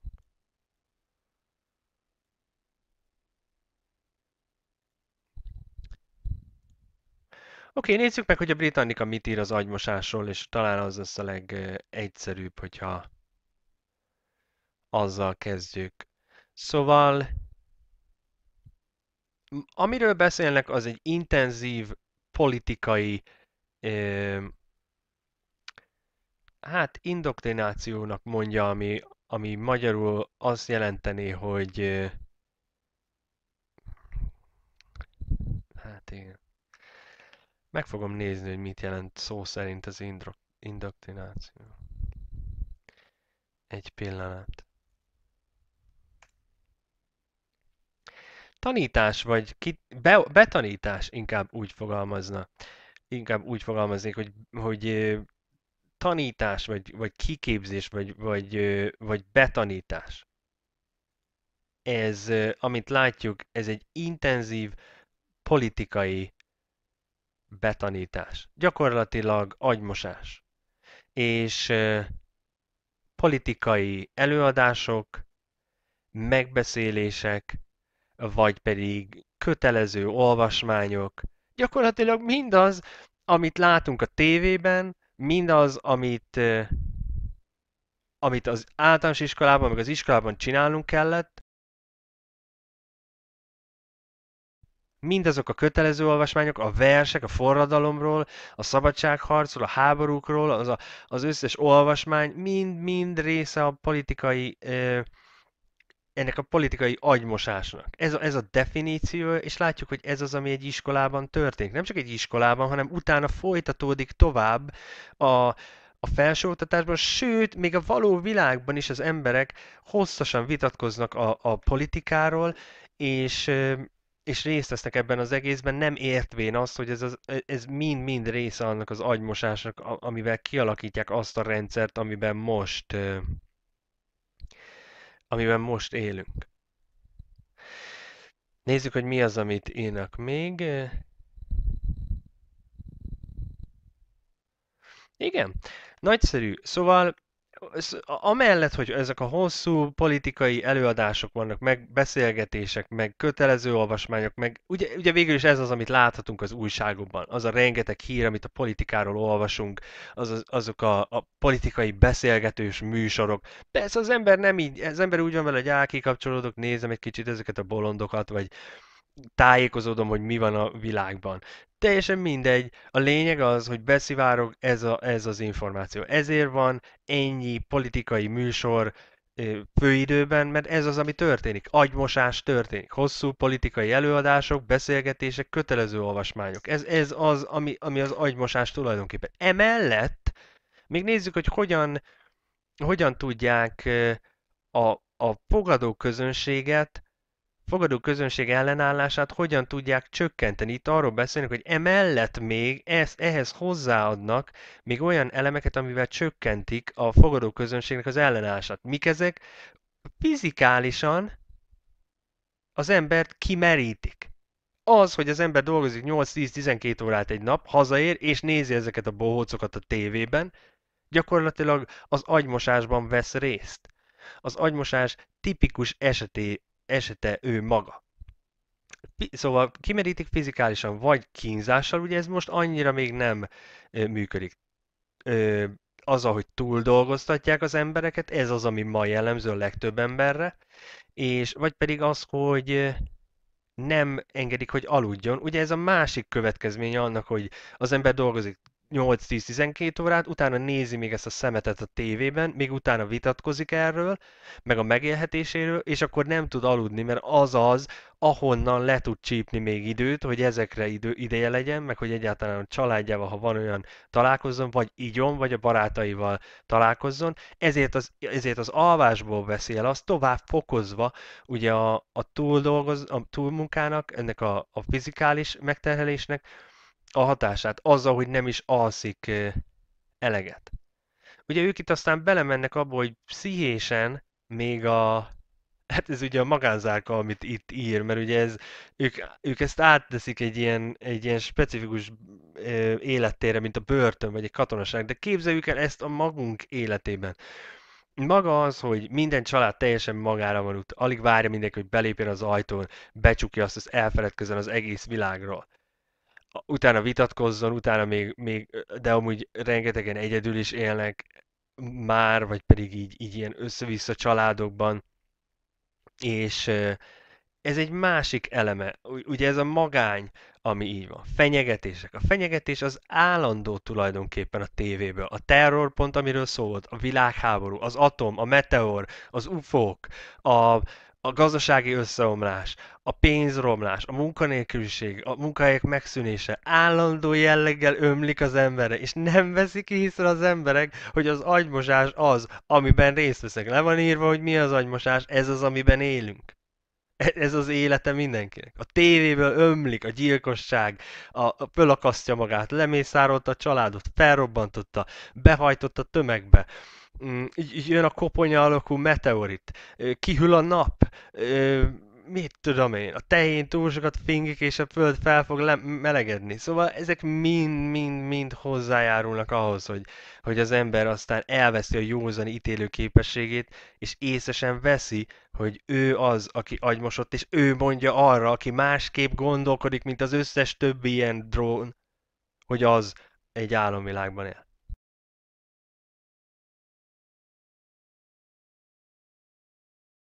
Nézzük, hogy emellett mi van még. Ugye arról beszél, hogy érzelmileg felkavaró összetűzések. Itt ugye azt írja, hogy a kihallgatókkal, vagy pedig az ő um, volt uh, bajtársaival. Azonban ez minden családban előfordul nap, mint nap. Ez az érzelmileg felkavaró összetűzés nagyon kevés olyan család van, ahol, ami úgy működik, mint egy, mint egy minta. A legtöbb, a, a, mondjuk a fele elvált, akkor még mennyi az, ami borzasztó. Abba ez mind-mind benne van. Ha nem ott, akkor a munkahelyen. Ha nem a munkahelyen, akkor a, a, a lépcsőházban, a barátokkal, a szomszédokkal, a gyerekekkel. Teljesen mindegy. Ezek, az, ezek a viták, ezek állandóak az ember életében. És ez megint csak hozzáad a hatáshoz A következő, ami szintén egy nagyszerű, ez pedig a, a, a, a, a polgártársai, szóval az embertársai előtt való megalázás. Ez talán ez az, ami, ami elkerül az embereket, hiszen nagyon keveset van az ember, úgy az embertársaival ma már. Örül mondom, hogy hazamegy, aztán elfeledkezik az egész világról, de de attól függetlenül a többi az bőven megvan. Úgyhogy még egyszer nézzük csak meg, mert azt akarom, hogy, hogy, hogy az is felfogja, aki esetleg még eddig nem értette meg, hogy mi is az, amiről szó van. Szóval, az agymosás így működik. Ez a, ez a koncepciója az agymosásnak. Ugye először szó volt a pszichológiai hadviselésről. Nézzük meg, hogy az agymosással mi a helyzet. Az agymosás az egy intenzív, bocsánat, intenzív politikai betanítás, gyakorlatilag kiképzés. Ez hosszú politikai előadásokat, megbeszéléseket, vagy kötelező olvasmányokat ö, foglal magába, újságcikkek. Most, most vonatkoztassunk el arról a, arról a specifikus helyzetről, amire ők alkalmazzák. Nézzük, hogy hogyan, hogyan történik az agymosás egy társadalom szintjén ugye mindezek a politikai beszélgetések, a vitaműsorok, a, az a rengeteg újságcikk, amiket az emberek olvasnak. Azt hiszik, hogy az információ, miközben az, az egy agymosás, az, az, az propaganda be az ember agyába úgy, mint információ. Oké, okay, szóval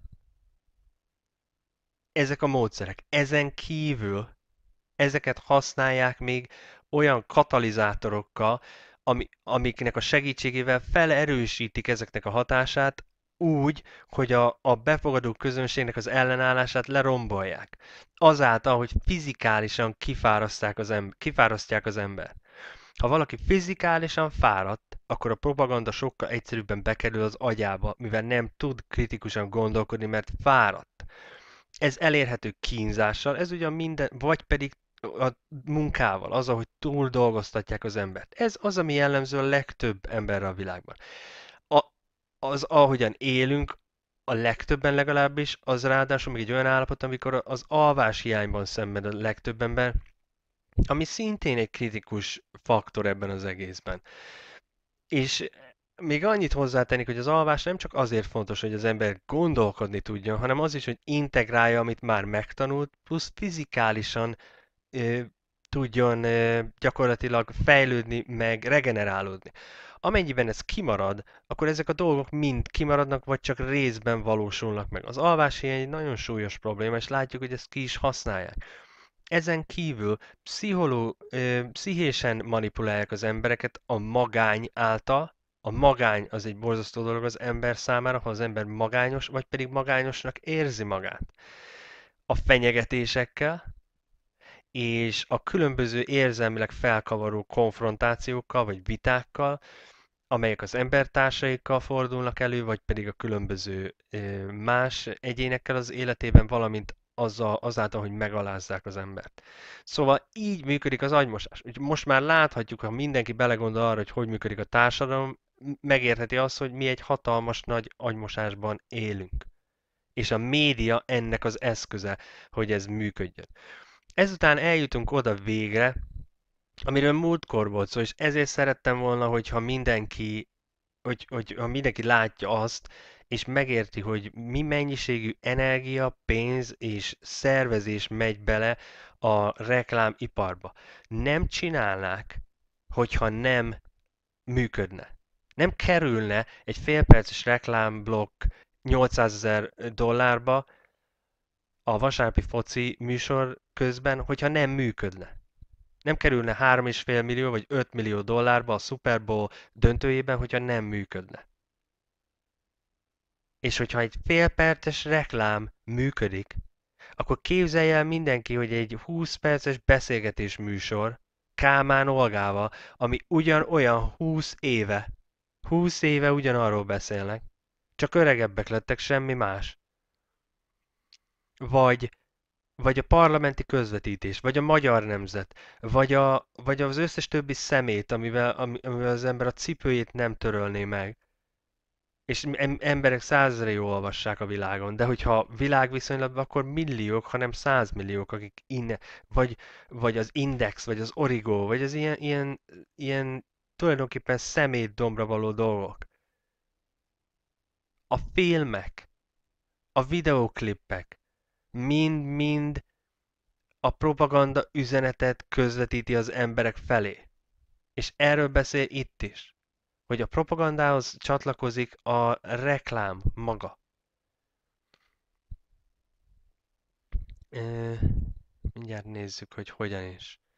A politikai jelöltek, a politikai pártok programjai, a, a különböző politikai problémákon elfoglalt álláspontjaik, azok úgy vannak csomagolva, és eladva, tálalva az emberek számára a reklám cégeken keresztül, hogy az a lehető legjobb hatást érje el. És láthattuk, hogy ez is így van, hiszen megnéztük, hogy Obama kampánya nyerte a legjobb kampányt 2008-ban, díját. Még mi szükséges ahhoz, hogy leessen az embernek a tantusz? Mikor fogja megérteni az ember, hogy bármit nem, aki most hallgatja, az a 30 ember, hanem az összes többi százezer. Mikor fogja megérteni, hogy hogy ez az, ami történik. Még, még hányszor, és láthatjuk, hogy az információ itt van. Azért van itt, mert tudják, hogy az embereket nem érdekli, és nem fogja fel. Ezért van ide kiírva. Nem kell elrejteni, mert az embereknek nincs ideje rá, hogy ezeket megkeressék. Oké, okay, még szavak, mint a promóció, az ugye a reklámnak az egyik megfelelője, legalábbis az angolban, vagy pedig a, ugye ami magyarul PR, vagy PR, Public Relations, amit már a múltkor sem tudtam megfejteni, de hogy mi magyarul, de mindegy. Az a lényeg, hogy a PR és a maga a reklám, vagy a promóció, az szintén a propagandához kapcsolódik nem véletlen, hogy ezeket a dolgokat itt említik meg, mikor a propagandáról beszélünk. A reklámipar, a promóció, a PR, ezek mind-mind ezzel kapcsolatosak, hiszen terjesztenek egyfajta információt, egy, egy érdekcsoportnak a céljait megvalósítandó. Manipulálják a tömegeket. Most hívhatjuk reklámnak, PR-nak, propagandának, vagy bármi másra. A lényeg az, hogy manipulálja az emberek gondolatát. Oké. Mm.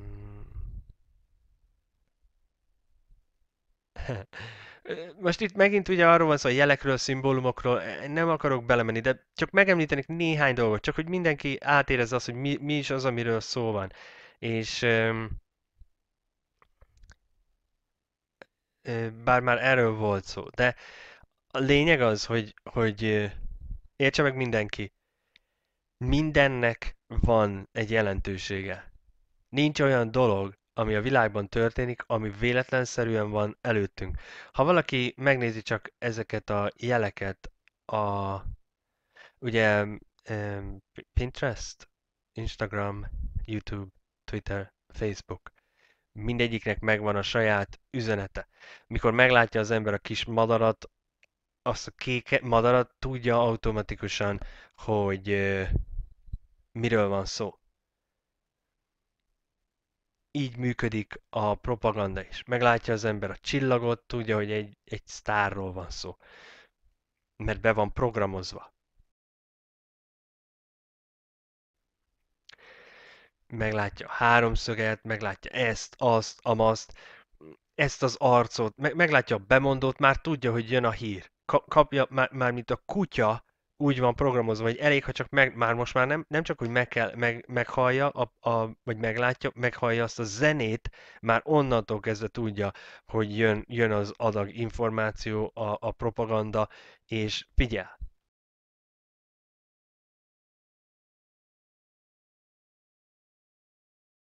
Ha valaki, aki doktor, vagy PhD, vagy, vagy PhD, és fehér köpenyben van, akkor automatikusan figyel, még jobban, mint amúgy, mint egy kutya be van idomítva. Tudja, hogy az az, az egyenruha, az, az azt jelenti, hogy neki figyelj, mint a rendőr, mint a tűzoltó, a sziréna, a kék, a piros, az összes többi dolog, ezek mind-mind propaganda elemek. Az, hogy mi, minden rossz, azt nem mondom, csak azt mondom, hogy így működik ez az egész. Kialakít egy jel, egy bizonyos hatást elér, és könnyebben beviszi az üzenetet az ember elméjébe.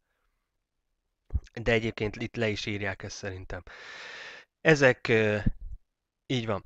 Arról beszél, hogy ezek a jelek képesek, pontosan ezt mondta el egyébként, ezek a, ezek a jelek képesek egyszerűen egy ingerrel információ egységeket bevinni az agyba.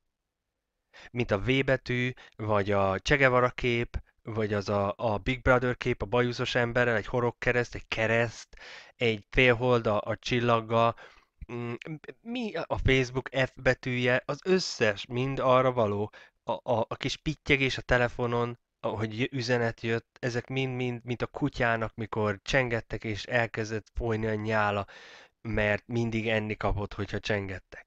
Ugyanígy működik az ember meglátja a Fidesznek a, azt a feliratot, hogy Fidesz, MSZP, meglátja azt az arcot, azt a hangot meghallja, akkor már úgy elkezd viselkedni. Így van programozva az ember. Aki, aki nem képes ebből kilépni, akkor az leírja az egész életét, mint egy drón, mint egy droid, aki, akit beprogramoztak és úgy mozog, ahogyan, ahogyan ez, ahogyan be van programozva. Egyébként közönség kapcsolat, valami ilyesmi egyébként a, a PR, de meg fogom nézni, ha nem felejtem el. Ezek hangokat foglalnak magába, ezek a, ezek a jelek, amikről beszélünk, mint például szavak, mint a szabadság, a szeretet, a szerelem, a boldogság, hogy ja, én csak boldog akarok lenni. Jó, és mit jelent a boldog? Á, tudod, hogy boldog, de mit jelent? Fogalma sincs senkinek, hogy mit jelent a boldog. Jelenti, hogy tele van a hasa, tud inni, meg ülhet egy székbe a napon így képzeli el a boldogságot, hogy ülhet a tévé előtt egy hétig, azt nem csinál semmit. Vagy a kertet túrhatja, de igazából fogalma sincs, hogy mi, mi mit jelent. Csak szajkózza ezeket a szavakat, mert így van programozva a reklámokon keresztül, a filmeken keresztül. Hogy milyen párt akarsz, nem tudom, majd ha megtalálom, akkor, akkor tudom. Oh, hát ez, ez egy eredeti, igazán. Csak körülbelül 8 milliárd ember mondja még ugyanezt annak ellenére a fele, aki azt hiszi, hogy megtalálja, két év múlva már egy másikra hiszi azt, hogy megtalálta. De ennek ellenére mindenki mondja, hogy, hogy én megyek a szívem után. Ezek, ezek így, így, így gondolja, amikor a szavakról beszél, hogy ó, én a szívemre hallgatok. Mikor megmondja Jeremiás 17.10, hogy a szív családot mindennek kiismerti. Ennek ellenére mindenki azt szalkoz, hogy én a szívemre hallgatok. Sőt, már Beresít 8-as fejezet elmondta, hogy az ember szívének gondolata gonosz a gyerekkorától fogva. Ennek ellenére mi azt szajkozzuk, hogy én, én a szívemre hallgatok. Mindegy. A zene. A zene egy nagyszerű, nagyszerű példa erre. És az, ami van ma, hogy mennek a gyerekek az utcán, és közben megy a zene, az, az, az egy remek, remek példa. Fogalmuk sincs, hogy mi az, ami, ami árad abból a, mi a szöveg, mert nem értik a szöveget, így fogalmuk sincs róla, hogy miről van szó. Viszont az üzenet attól még bejut az ember lelkébe, hiszen a, a léleknek nincs szüksége arra, hogy, hogy vagy az embernek az a szellem, ami benne lakik az emberben, nincs szüksége arra, hogy tudja a nyelvet. Az üzenet átjön. Persze az értelem nem fogja fel, de attól még átjön az az üzenet. Úgyhogy ezek mind, mind ilyenek. De például ilyenek a különböző gesztusok, ha jól értelmezem. És ez pedig mit például egy katonai tisztelgés, vagy, vagy a... Ugye itt azt írja, hogy mikor a, az órát kifújja az ember, a, úgyhogy befogja az egyik orjukát, ez az is egy, egy gesztus, hogy nem érdekli az. Vagy a testtartások, a kül- különböző testtartások, az össz, a karbatett kéz, ha leül valaki, stb. stb. Mm, ezen kívül ugye az épületekről beszél, az emlékművekről, vagy, vagy egyes fontos épületekről, mint mondjuk a rendőrpalota idézőjelbe. A, szerintem óriási jelentősége van a, a ruhaneműnek, az, az egyenruhának, vagy pedig a, a márkáknak, amik, amikben az emberek hisznek ö, ö, szinte vallásos ö, meggyőződéssel. Ezen kívül ugye a poszterek, a, a, a, a plakátok, vagy a zászlók, a különböző kis jelek, vagy azok a kitűzők, amiket az ember visel, vagy a szórólapok, a, a bé, emlékbélyegek, rengeteg, rengeteg más. Mm, el fogjuk most már, hát, pedig, pedig nagyszerű, nem is tudom, hogy jó, még nézzük meg ezt a médiát, hogy, hogy a média tulajdonképpen az a, az információ, vagy ezeknek a jeleknek, illetve szimbólumoknak a közlésére szolgáló csatorna, vagy módszer. Ennyi a média. Úgyhogy most már érti mindenki, hogy eljutottunk ide, még, még a britannica.com is elvezet minket ezen az úton, hogy megmutassa, hogy a propaganda a médián keresztül jut el hozzánk.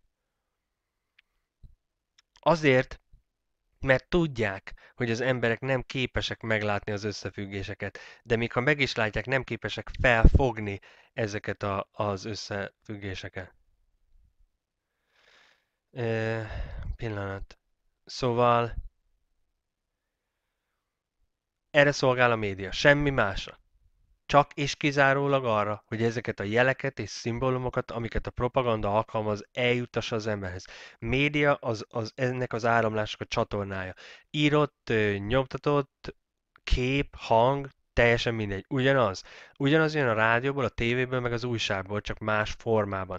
Minden le van fedve. Most már az internet is.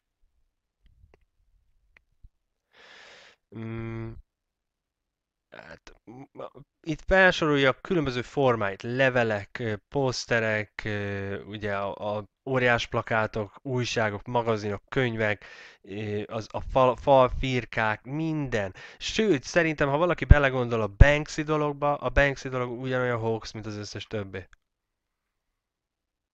Mint az összes többi.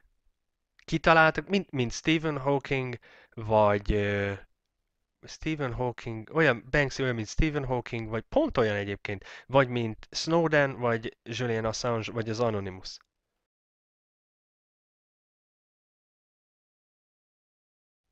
És szerintem a, a, a géniusz csak a, így, így érteti meg igazán az ember, hogy azok, akik irányítják és uralják ezt a rendszert, valójában mennyivel előttünk járnak, és, és mennyivel intelligensebbek, mint egy, mint egy mint, nem csak hogy mint egy átlagember, hanem mint a legtöbb ember. Hogy ilyen ötletekkel képesek előállni, mint valaki, aki falfirkákat készít, és elterjeszik az egész világon. A, a, a, valaki azt gondolja, hogy, hogy Banksy, azt hiszem, Oscaron, vagy hol, hol, hol kapta azt a díjat? Nem akarok butaságot mondani, de valahol volt valami amúgy nem vette át, mert úgy, csak úgy vette volna át, hogyha a maszkba átveheti.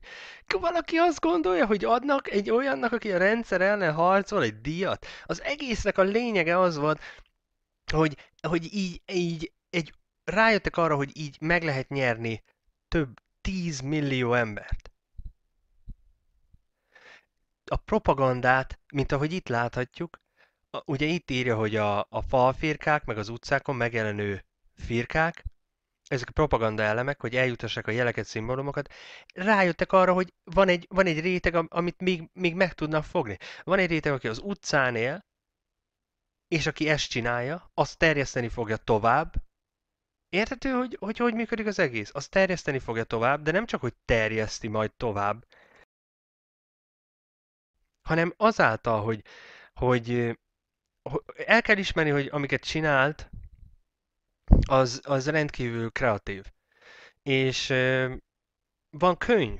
Banksy, nekem volt, onnan tudom, könyvem, ahol a Banks, Banksynek voltak benne a falfirkái. És rendkívül kreatív és informatív, és nagyon egyszerűen eljutatja az üzenetet egy-egy képpel. Ez volt a lényeg. Nem csak, hogy azt nyerték meg, aki az utcán a falfirkákat készíti, hanem azt is, aki értékeli a kreativitást, de nem érti, hogy ez egy propaganda. És rengeteg ilyen ember van. Szóval, amit ki akarok fejezni, az az, hogy, hogy ez, az, ez valóban olyan, mint egy, mint egy polip. Nem véletlenül volt szerintem az a sorozat polip, a, a, bár az a maffiáról szólt, de olyan, mint egy polip, így áthálóz, behálózza így a, a lábaival az egész világot, így mindenhova beférkőzik. És azt hisszük, hogy, hogy, hogy dolgok, mint, mint de jó, persze az Assange meg a Snowden dolog az, az, az egy ilyen egyértelmű hoax, az egy ilyen nevetséges dolog, vagy, a, vagy az Anonymous, vagy Stephen Hawking, vagy ö, ö, Elon Musk, meg ezek a dolgok. De, de a, a Banksy dolog az egy, az egy más kategória. Az, ahhoz az emberek már el kell gondolkozni, hogy megértse azt, hogy, hogy valóban mi is, mi is az, amit, ami valójában, hogy, hogy mennyire jól kitalálták azt az egész ö, dolgot. De nagyon jó, amit, amit Robi említ itt, az például ö, bár, ja nem, nem is ezt mondod, de mindegy, például a, a ez a vödör, az Ice Bucket Challenge, az a, a, amikor a vizes, a jég, jéget, jeget magára önti az ember, és akkor ebből ez volt egy ilyen videó ment az interneten, plusz uh, ugye ezek mind-mind ezek a dolgok. Ahhoz tartozik egy üzenet, hogy valamiért csinálják, a, a hashtag dolgok, a, a kettős kereszt, amikor így az van, hogy hashtag, vagy kettős kereszt valami, és akkor az, az, az megy, a, a, ezek mind-mind ezek a dolgok. Az mind a propaganda elem. De egyébként ez innen kiderül világosan. Szóval ugye egyértelmű az, hogy az audiovizuális média, médiák közül a, vagy média közül a televízió a leghatékonyabb és a, a legnagyobb ö, pusztítást ez végzi. Mm, ugye arról beszélnek, hogy, hogy számtalan különböző jelet képes egyszerre közvetíteni a televízió, ugye ha csak visszaemlékszünk arra, hogy miket, mint a, a jeleket, a hangokat, a zenéket, a, a mondatokat, szavakat, képeket, stb. Ezt mind-mind egyszerre. És így az, hogy az, az, amikor ezek a, ezek a dolgok egyszerre vannak jelen, azok felerősítik a hatásukat. Szóval a televíziós agymosás sokkal hatékonyabb. Ezért Szerintem ez is egy újabb géniusz ötlet volt, hogy, és ráadásul, ha mindenki belegondol, szánalmas az ember, mert fizet azért, hogy megkapja a propagandát, és fizet a készülékért, amivel manipulálják. Nevetséges. Sem baj. Szóval ez mind egyesül ebben a a, magában a televízióban. De, de, de, de meg, elmondom, hogy mit írnak ide, mert ez, ez egyszerűen hihetetlen, hogy ez ide le van írva, és az emberek nem értik meg. Szóval egy óriás, nagyszerű hatást képes elérni azzal, hogy a kölcsönösen egymást erősítő gesztusok, szavak, testtartások, hangok együtt dolgoznak, valamint a azok a vezetők, a jelentős vezetők, hírességek, történelmi ö, környezet, épületek vagy építészet, zászlók, zene, plakátok, térképek, egyenruhák, jelképek, valamint a különböző tömegek, akik, akik ugye ugye már most jelenetekről beszél, arról, hogy, hogy amennyiben hírességek, meg ismert vezetők vannak egy történelmi beállítású, beállítottságú jelenetben, vagy, vagy, vagy ismert épületek, zenék, zászlókkal együtt jelennek meg, vagy pedig ott van mögöttük a tömeg, a, vagy a stúdióban ott van a tömeg velük, illetve ez így felerősíti a hatást. Sőt, ide van írva, amiről már, amiről már hónapok óta beszélek, hogy, hogy előre megrendezett gyülekezetek. Olyan, olyan, össz, olyan gyűlések, ahol, ahol ö, ismert emberek, vagy, vagy nagyobb presztízsel rendelkező emberek jelennek meg, amik meg vannak szervezve előre. De hát ehhez nem kell, hogy ismertek legyenek, ugyanúgy meg van szervezve az, ami az utcán van. Na mindegy. Szóval... Hát ez van. Ez van, és most láthatja mindenki, hogy nem csak, hogy Ez nem egy összeesküvés elmélet, hanem ezt mondja el az enciklopédia. Azzal kapcsolatban, hogy azzal kapcsolatban, bocsánat, egy pillanat.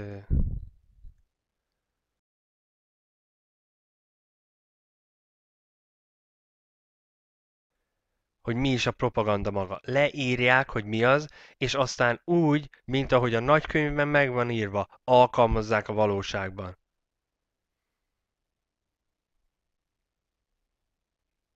Oké. Okay. Mm.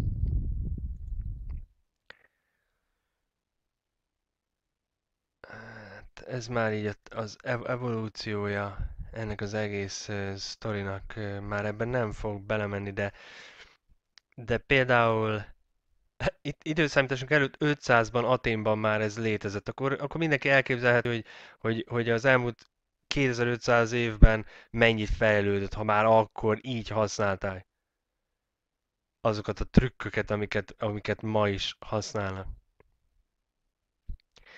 Oké, okay, ugye Ciceróról van szó, Arisztotelészről, sőt Arisztotelésznek már van egy retorika című műve, akik nálam műveltebbek etéren, azok biztos ismerik ezt, Konfucius említi itt, de ez minden, ugye Plátó köztársaság című művét, mm, de tulajdonképpen Machiavelli, a herceg,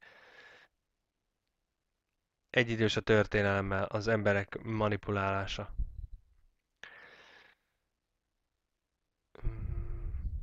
Oké, okay, e, abba fogom ezt hagyni, nem fogom. Keresek egy másikat, ahol... Még meg akarom mutatni, mert így a végéhez közeledve meg szeretném mutatni mindenkinek a... azt, hogy... Egy pillanat. Meg szeretném mutatni, a, hogy hogyan működik a tévé. Hmm.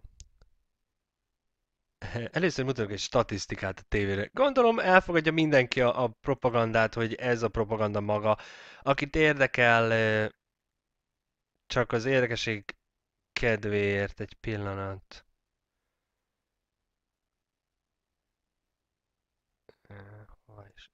Oké. Okay. Szóval ez propaganda a dictionary.com szerint, ez a thesaurus.com dictionary, ja nem, bocsánat, ez a dictionary.com, de a Thesaurushoz is át lehet menni, és akkor ott is, jaj, bocsánat,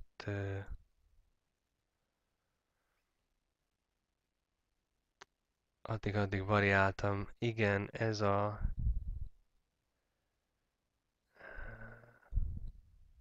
Aha, oké. Okay. Szóval ez a propaganda maga, és itt van szintén a jelentés a propagandának, ugyanazt mondja el, információk, ötletek, plegykák, szándékos, széleskörű terjesztése annak érdekében, hogy, hogy valamely embercsoport, mozgalom, intézmény vagy nemzet, stb. nek ártson.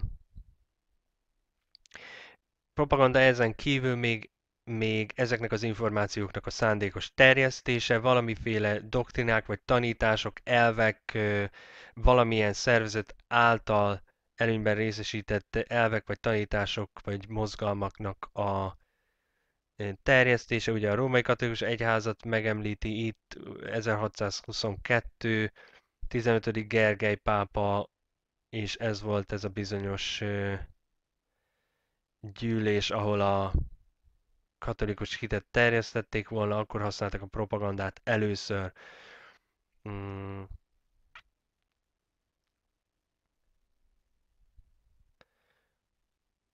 Megnézhetjük a Cambridge enciklopédiát is, ha valakit érdekel, de szerintem mindenki elfogadja, hogy ezt jelenti a propaganda. Ez ugye a, a cambridge.org és a, a dictionary része, a, a, um, szótár része, információ, ötlet, vélemény, képek és egyoldalú vélemény megjelenítése, ugye ezeknek, ezek segítségével egyoldalú vélemény megjelenítése, amely úgy van közölve, vagy, vagy, vagy pedig kiadva, megjelentetve, hogy egyik oldalát képviseli csak a magának a vitának.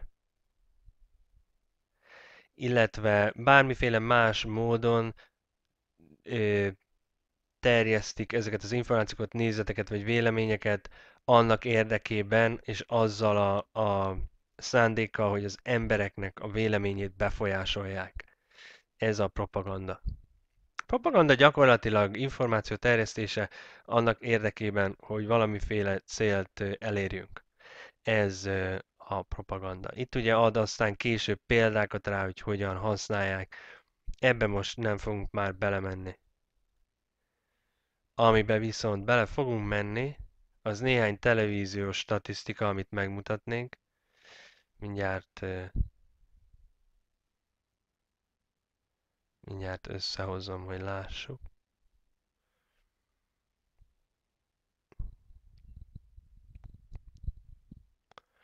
Oké, okay, ez...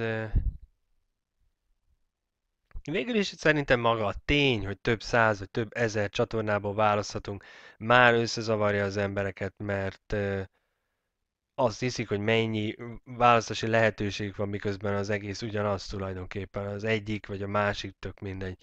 Végül is ugyanaz a szemét, ugyanaz a program jön belőle. Mm, ez, a, amit most meg fogunk nézni, ez úgy hívják az oldalt, hogy Credit Donkey és .com. Nem tudom sajnos, hogy hol, hol, honnan való ez a statisztika. Mm, de azt gyanítom, hogy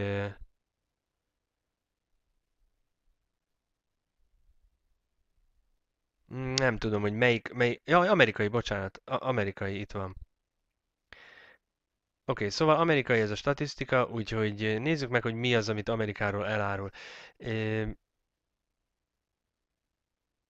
Az emberek 95%-a rendszeresen néz tévét, naponta, bocsánat, szabad idejében 95%-a néz tévét, és egy tipikus amerikai 5 mm, órát néz tévét átlagosan naponta. Egy, egy átlagos, tipikus amerikai napi 5 órát nézi a tévét, és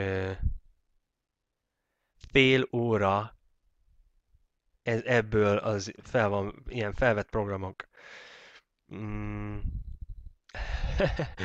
A következő az, hogy mennyit nézik átlagosan, átlagosan hány órát nézi egy élete során egy ember 2014-es alatt.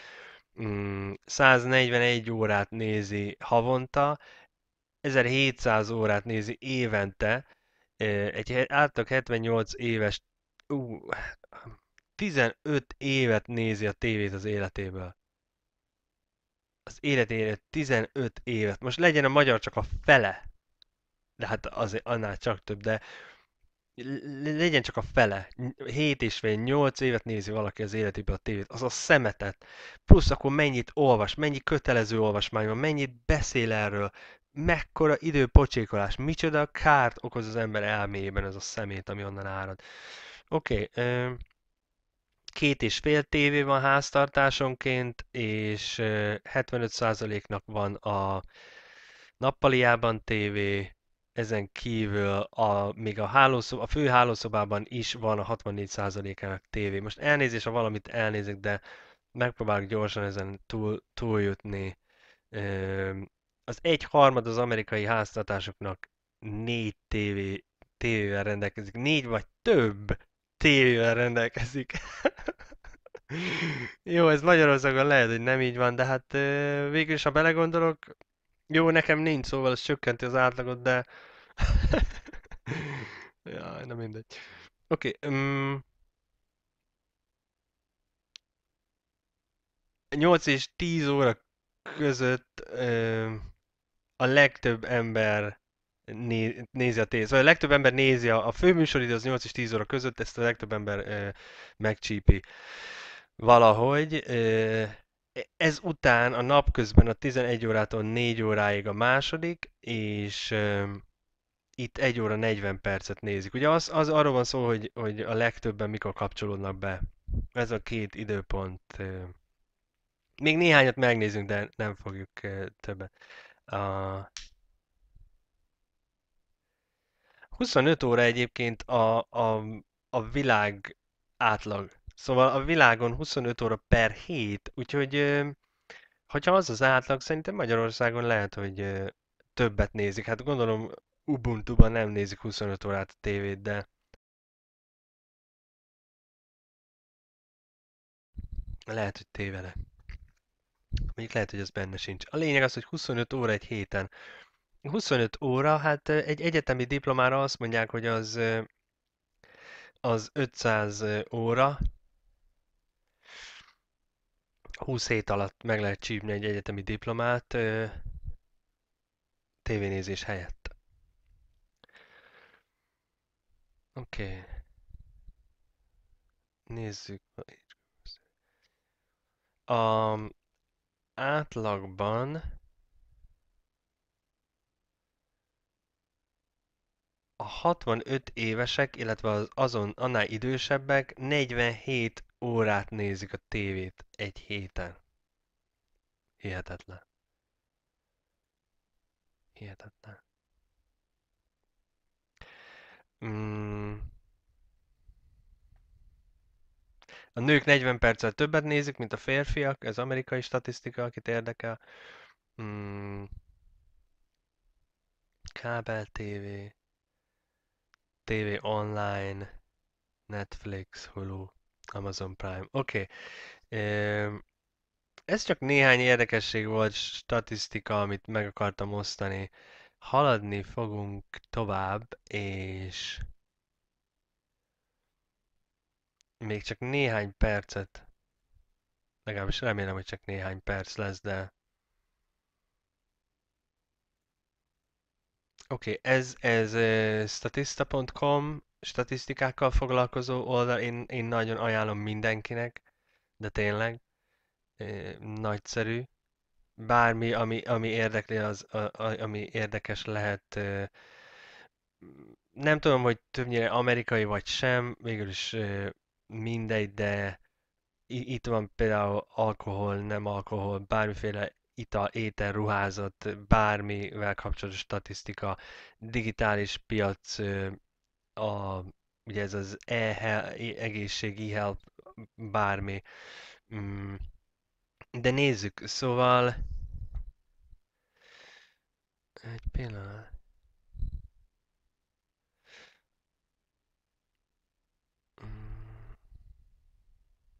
Hát végül is meg fogják erő, erősíteni ugyanazt, 90%-nak van tévéje, 4 órát nézik, ez amerikai statisztika.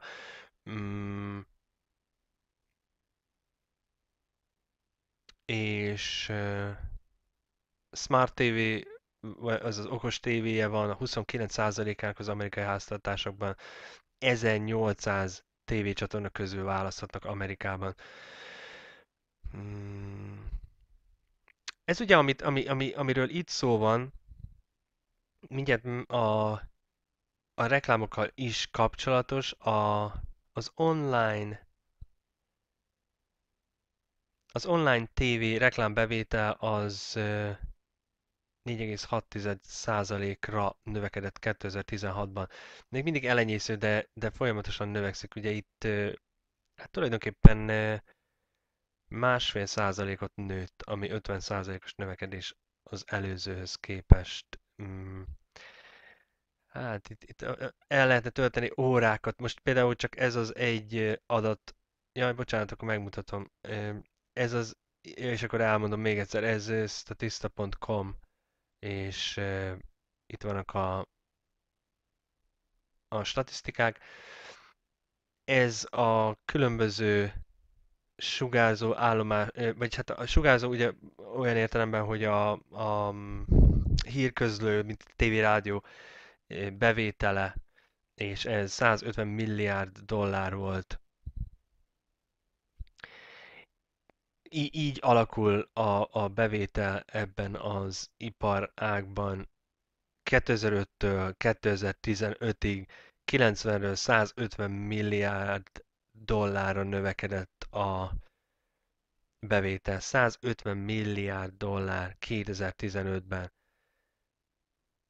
Akkor, akkor elképzelheti mindenki, hogy, hogy miféle hatalommal rendelkezik, és mi az az üzenet, ami tőlük érkezik. Biztos nem. Nem, az embereket szeretnék intelligensebbé tenni, vagy hát ha azt szerették volna, akkor az nem sikerült. Nem is fogok ezzel többet foglalkozni, hiszen a statisztikákat megnéztük a múltkor, viszont amit még meg fogunk nézni, az, és ezzel befejezzük,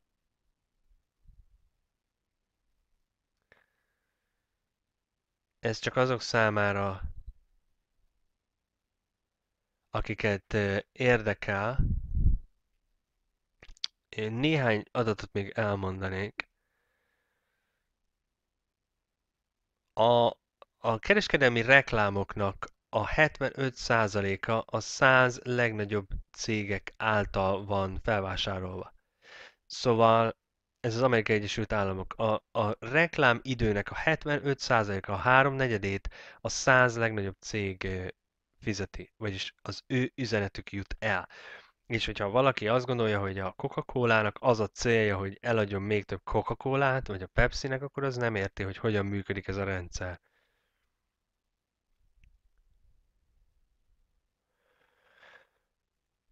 Nekik teljesen mindegy, az üzenet a lényeg.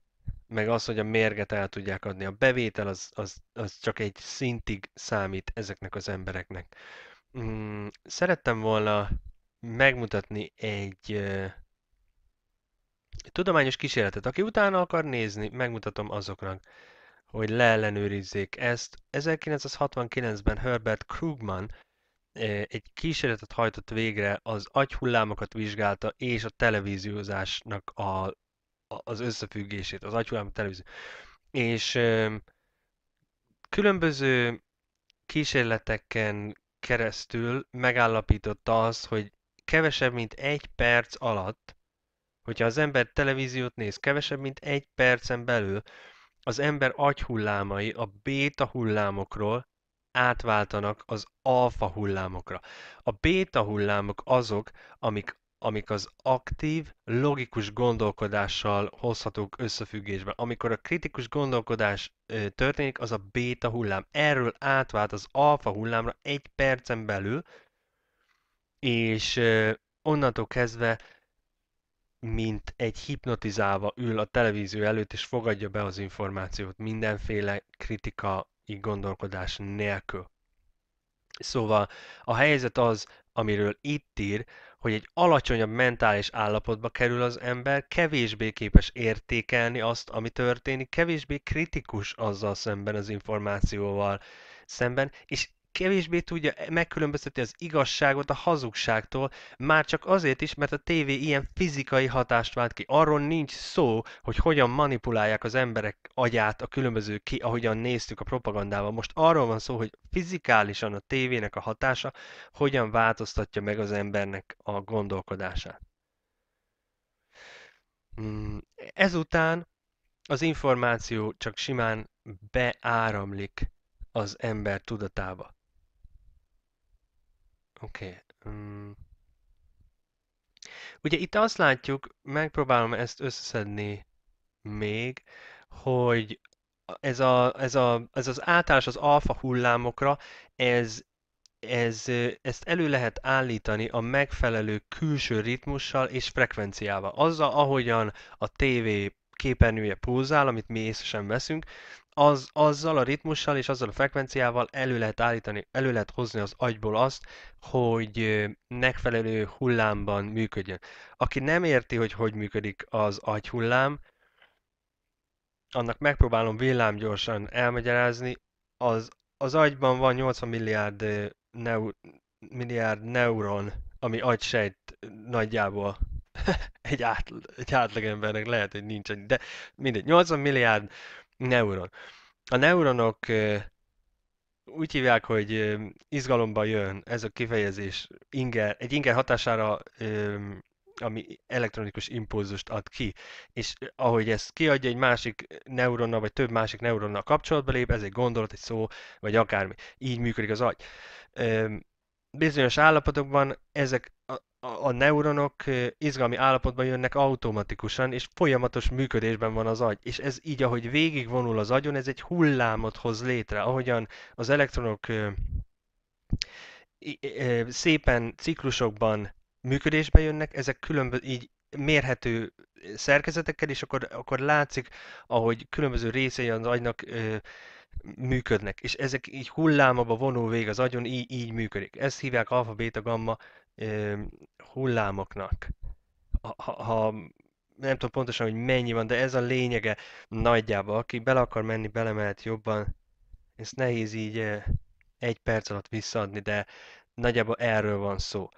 Az agy működés, a, a sejtek, ahogyan, ahogyan működésbe jönnek, az, az egyfajta hullámban történik, végigvonul az agyon, és így gyakorlatilag így történik minden, ami mi vagyunk. A beszéd, a gondolkodás, az összes dolog az, az ennek az eredménye. Természetesen vannak specifikus dolgok, de azt érti mindenki, hogy mondjuk a szívverés, meg a, a rengeteg alapvető dolog van az emberben, ami működik mindenféleképpen. Ezek, ezek, e, e, ez az, amiről beszélnek tulajdonképpen ezek a hullámok. Az alfa hullám az, ami... Mindjárt megnézzük, hogy tulajdonképpen mi is az alfa, de nézzük, hogy mi az, amit megállapított ő.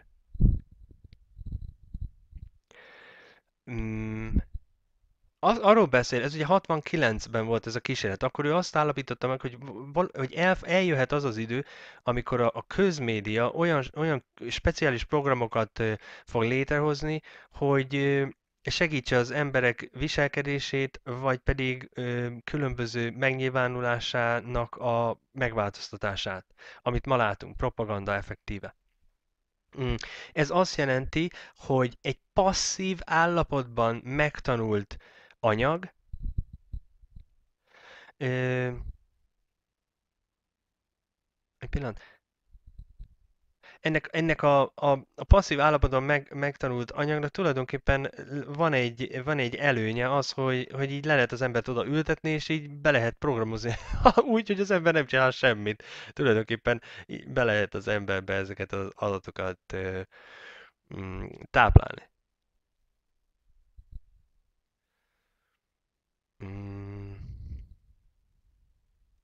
Ja, sőt, utána, utána azt mondja, ö, sajnos nem tudom a subliminalt, hogy mit jelent, vagy hogy hogy lehetne magyarra lefordítani, de ö, ilyen, olyat, ami, ami így ilyen tudat alatt van, ami el, nem nyilvánvaló, és az a fajta érzékelés, illetve, illetve a, a hipnotiz, hipnotizáció arról beszél tulajdonképpen, hogy, hogy az által, hogy az ember ott ül, passzívan meg tud tanulni bizonyos dolgokat, gyakorlatilag úgy, mint hogyha, mint hogyha egy hipnózis alatt lenne. Azáltal, hogy nézi a képernyőt, annak a vibrálása és a frekvenciája hipnotizálja az embert, és ezeket a dolgokat be, bejuttatja az embernek az agyába.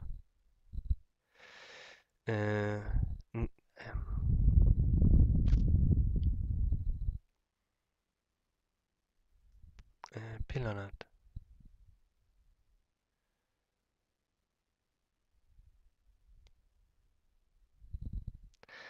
Ja igen, a, ugye arról beszél, hogy a gyerekek, akik nyugtalanok a, az iskolában, az, az nem feltétlenül a szülők hibája, hanem, hanem, hanem összefüggésbe hozható a televízióval. És sőt, arról azt írja, hogy, hogy enyhe, mm, ugye a droghasználatról beszél, de gyógyszerezése ezeknek a gyerekeknek, vagy pedig különböző relaxációs technológiáknak a tanítása, az haték, hatásos lehet a gyermekek nevelésében. Szóval ő, ő gyakorlatilag arról beszél, hogy, hogy amellett, hogy, hogy még a, a tévét nézzék, a, az alfa állapotban történő relaxációval, illetve a gyerekeknek a gyógyszerezésében még jobb eredményt el lehet érni a nevelésben, nyilván ő a propagandára gondol. És hogyha bárki is nek van fogalma arról, hogy hogy működik a, a gyógyszeripar, akkor azt tudja, hogy amerikaiak 70%-a valamilyen, valamilyen gyógyszer szed, amit vényre lehet kapni. Szóval ők gyakorlatilag az amerikai társadalom az az agymosásnak a, a tipikus példája, de ha valaki megfigyeli, én mindenkinek javaslom, hogy, hogy figyelje meg, mint egy kihívást, a magyar tévében minden harmadik vagy második reklám gyógyszer lesz, és pontosan ez az, amiről szól ez az egész. Hogy amit, amit láttatok ebben a, az egy órában összefoglalva, ez az, ahogyan a társadalomban az agymosás működik. Az összes elemét az agymosásnak alkalmazzák rajtunk, és ezért néz ki úgy a társadalom, ahogy kinéz.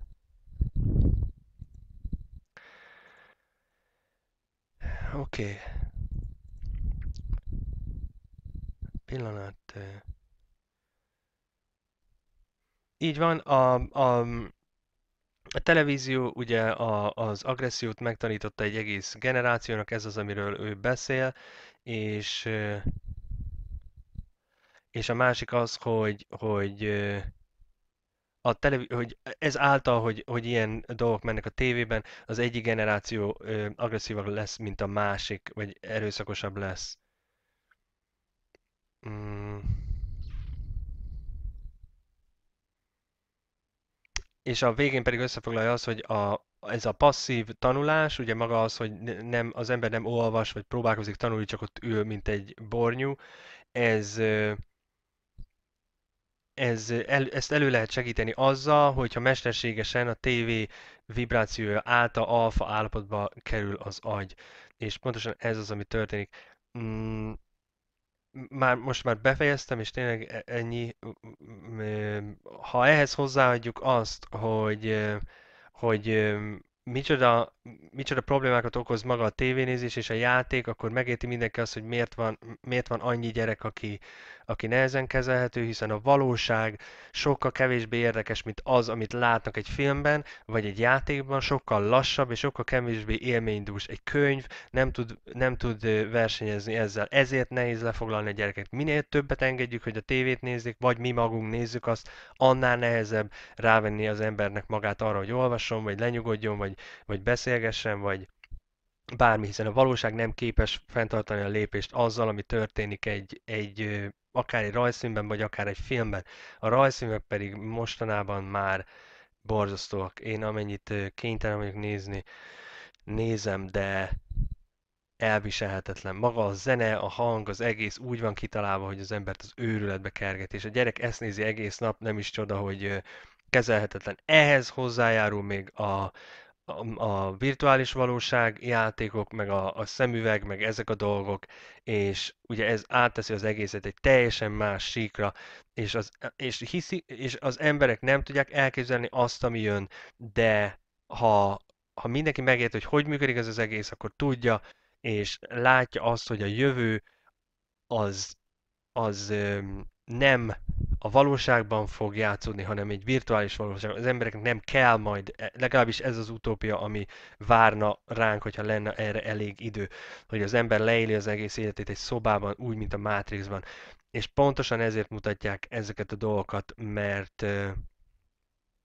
mert azt akarják, hogy az emberiség hozzászokjon ehhez, hiszen ez az, ami következik, legalábbis ami szerintük következne.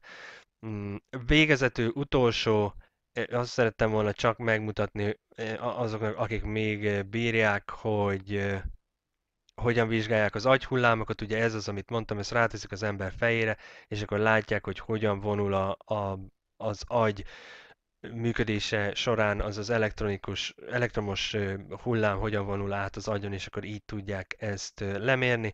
Itt láthatja mindenki a különböző hullámokat. Ez, a, ez egyébként psychologytoday.com, azaz a, a pszichológia ma.com, úgyhogy ez nem egy bulvár oldal, és itt ugyanazt erősítik meg, hogy az alfa hullámok azok pillanat, az arra az állapotára jellemző az agynak, amikor egy ilyen tétlen állapotban van, egy ilyen alaptétlen állapotban van, mikor, mikor ábrándozik, vagy pedig tudatosan tudatosan tudatosságot gyakorol, tudatosság, mint ez a mozgalom, hogy tudatos vagyok, vagy pedig meditál.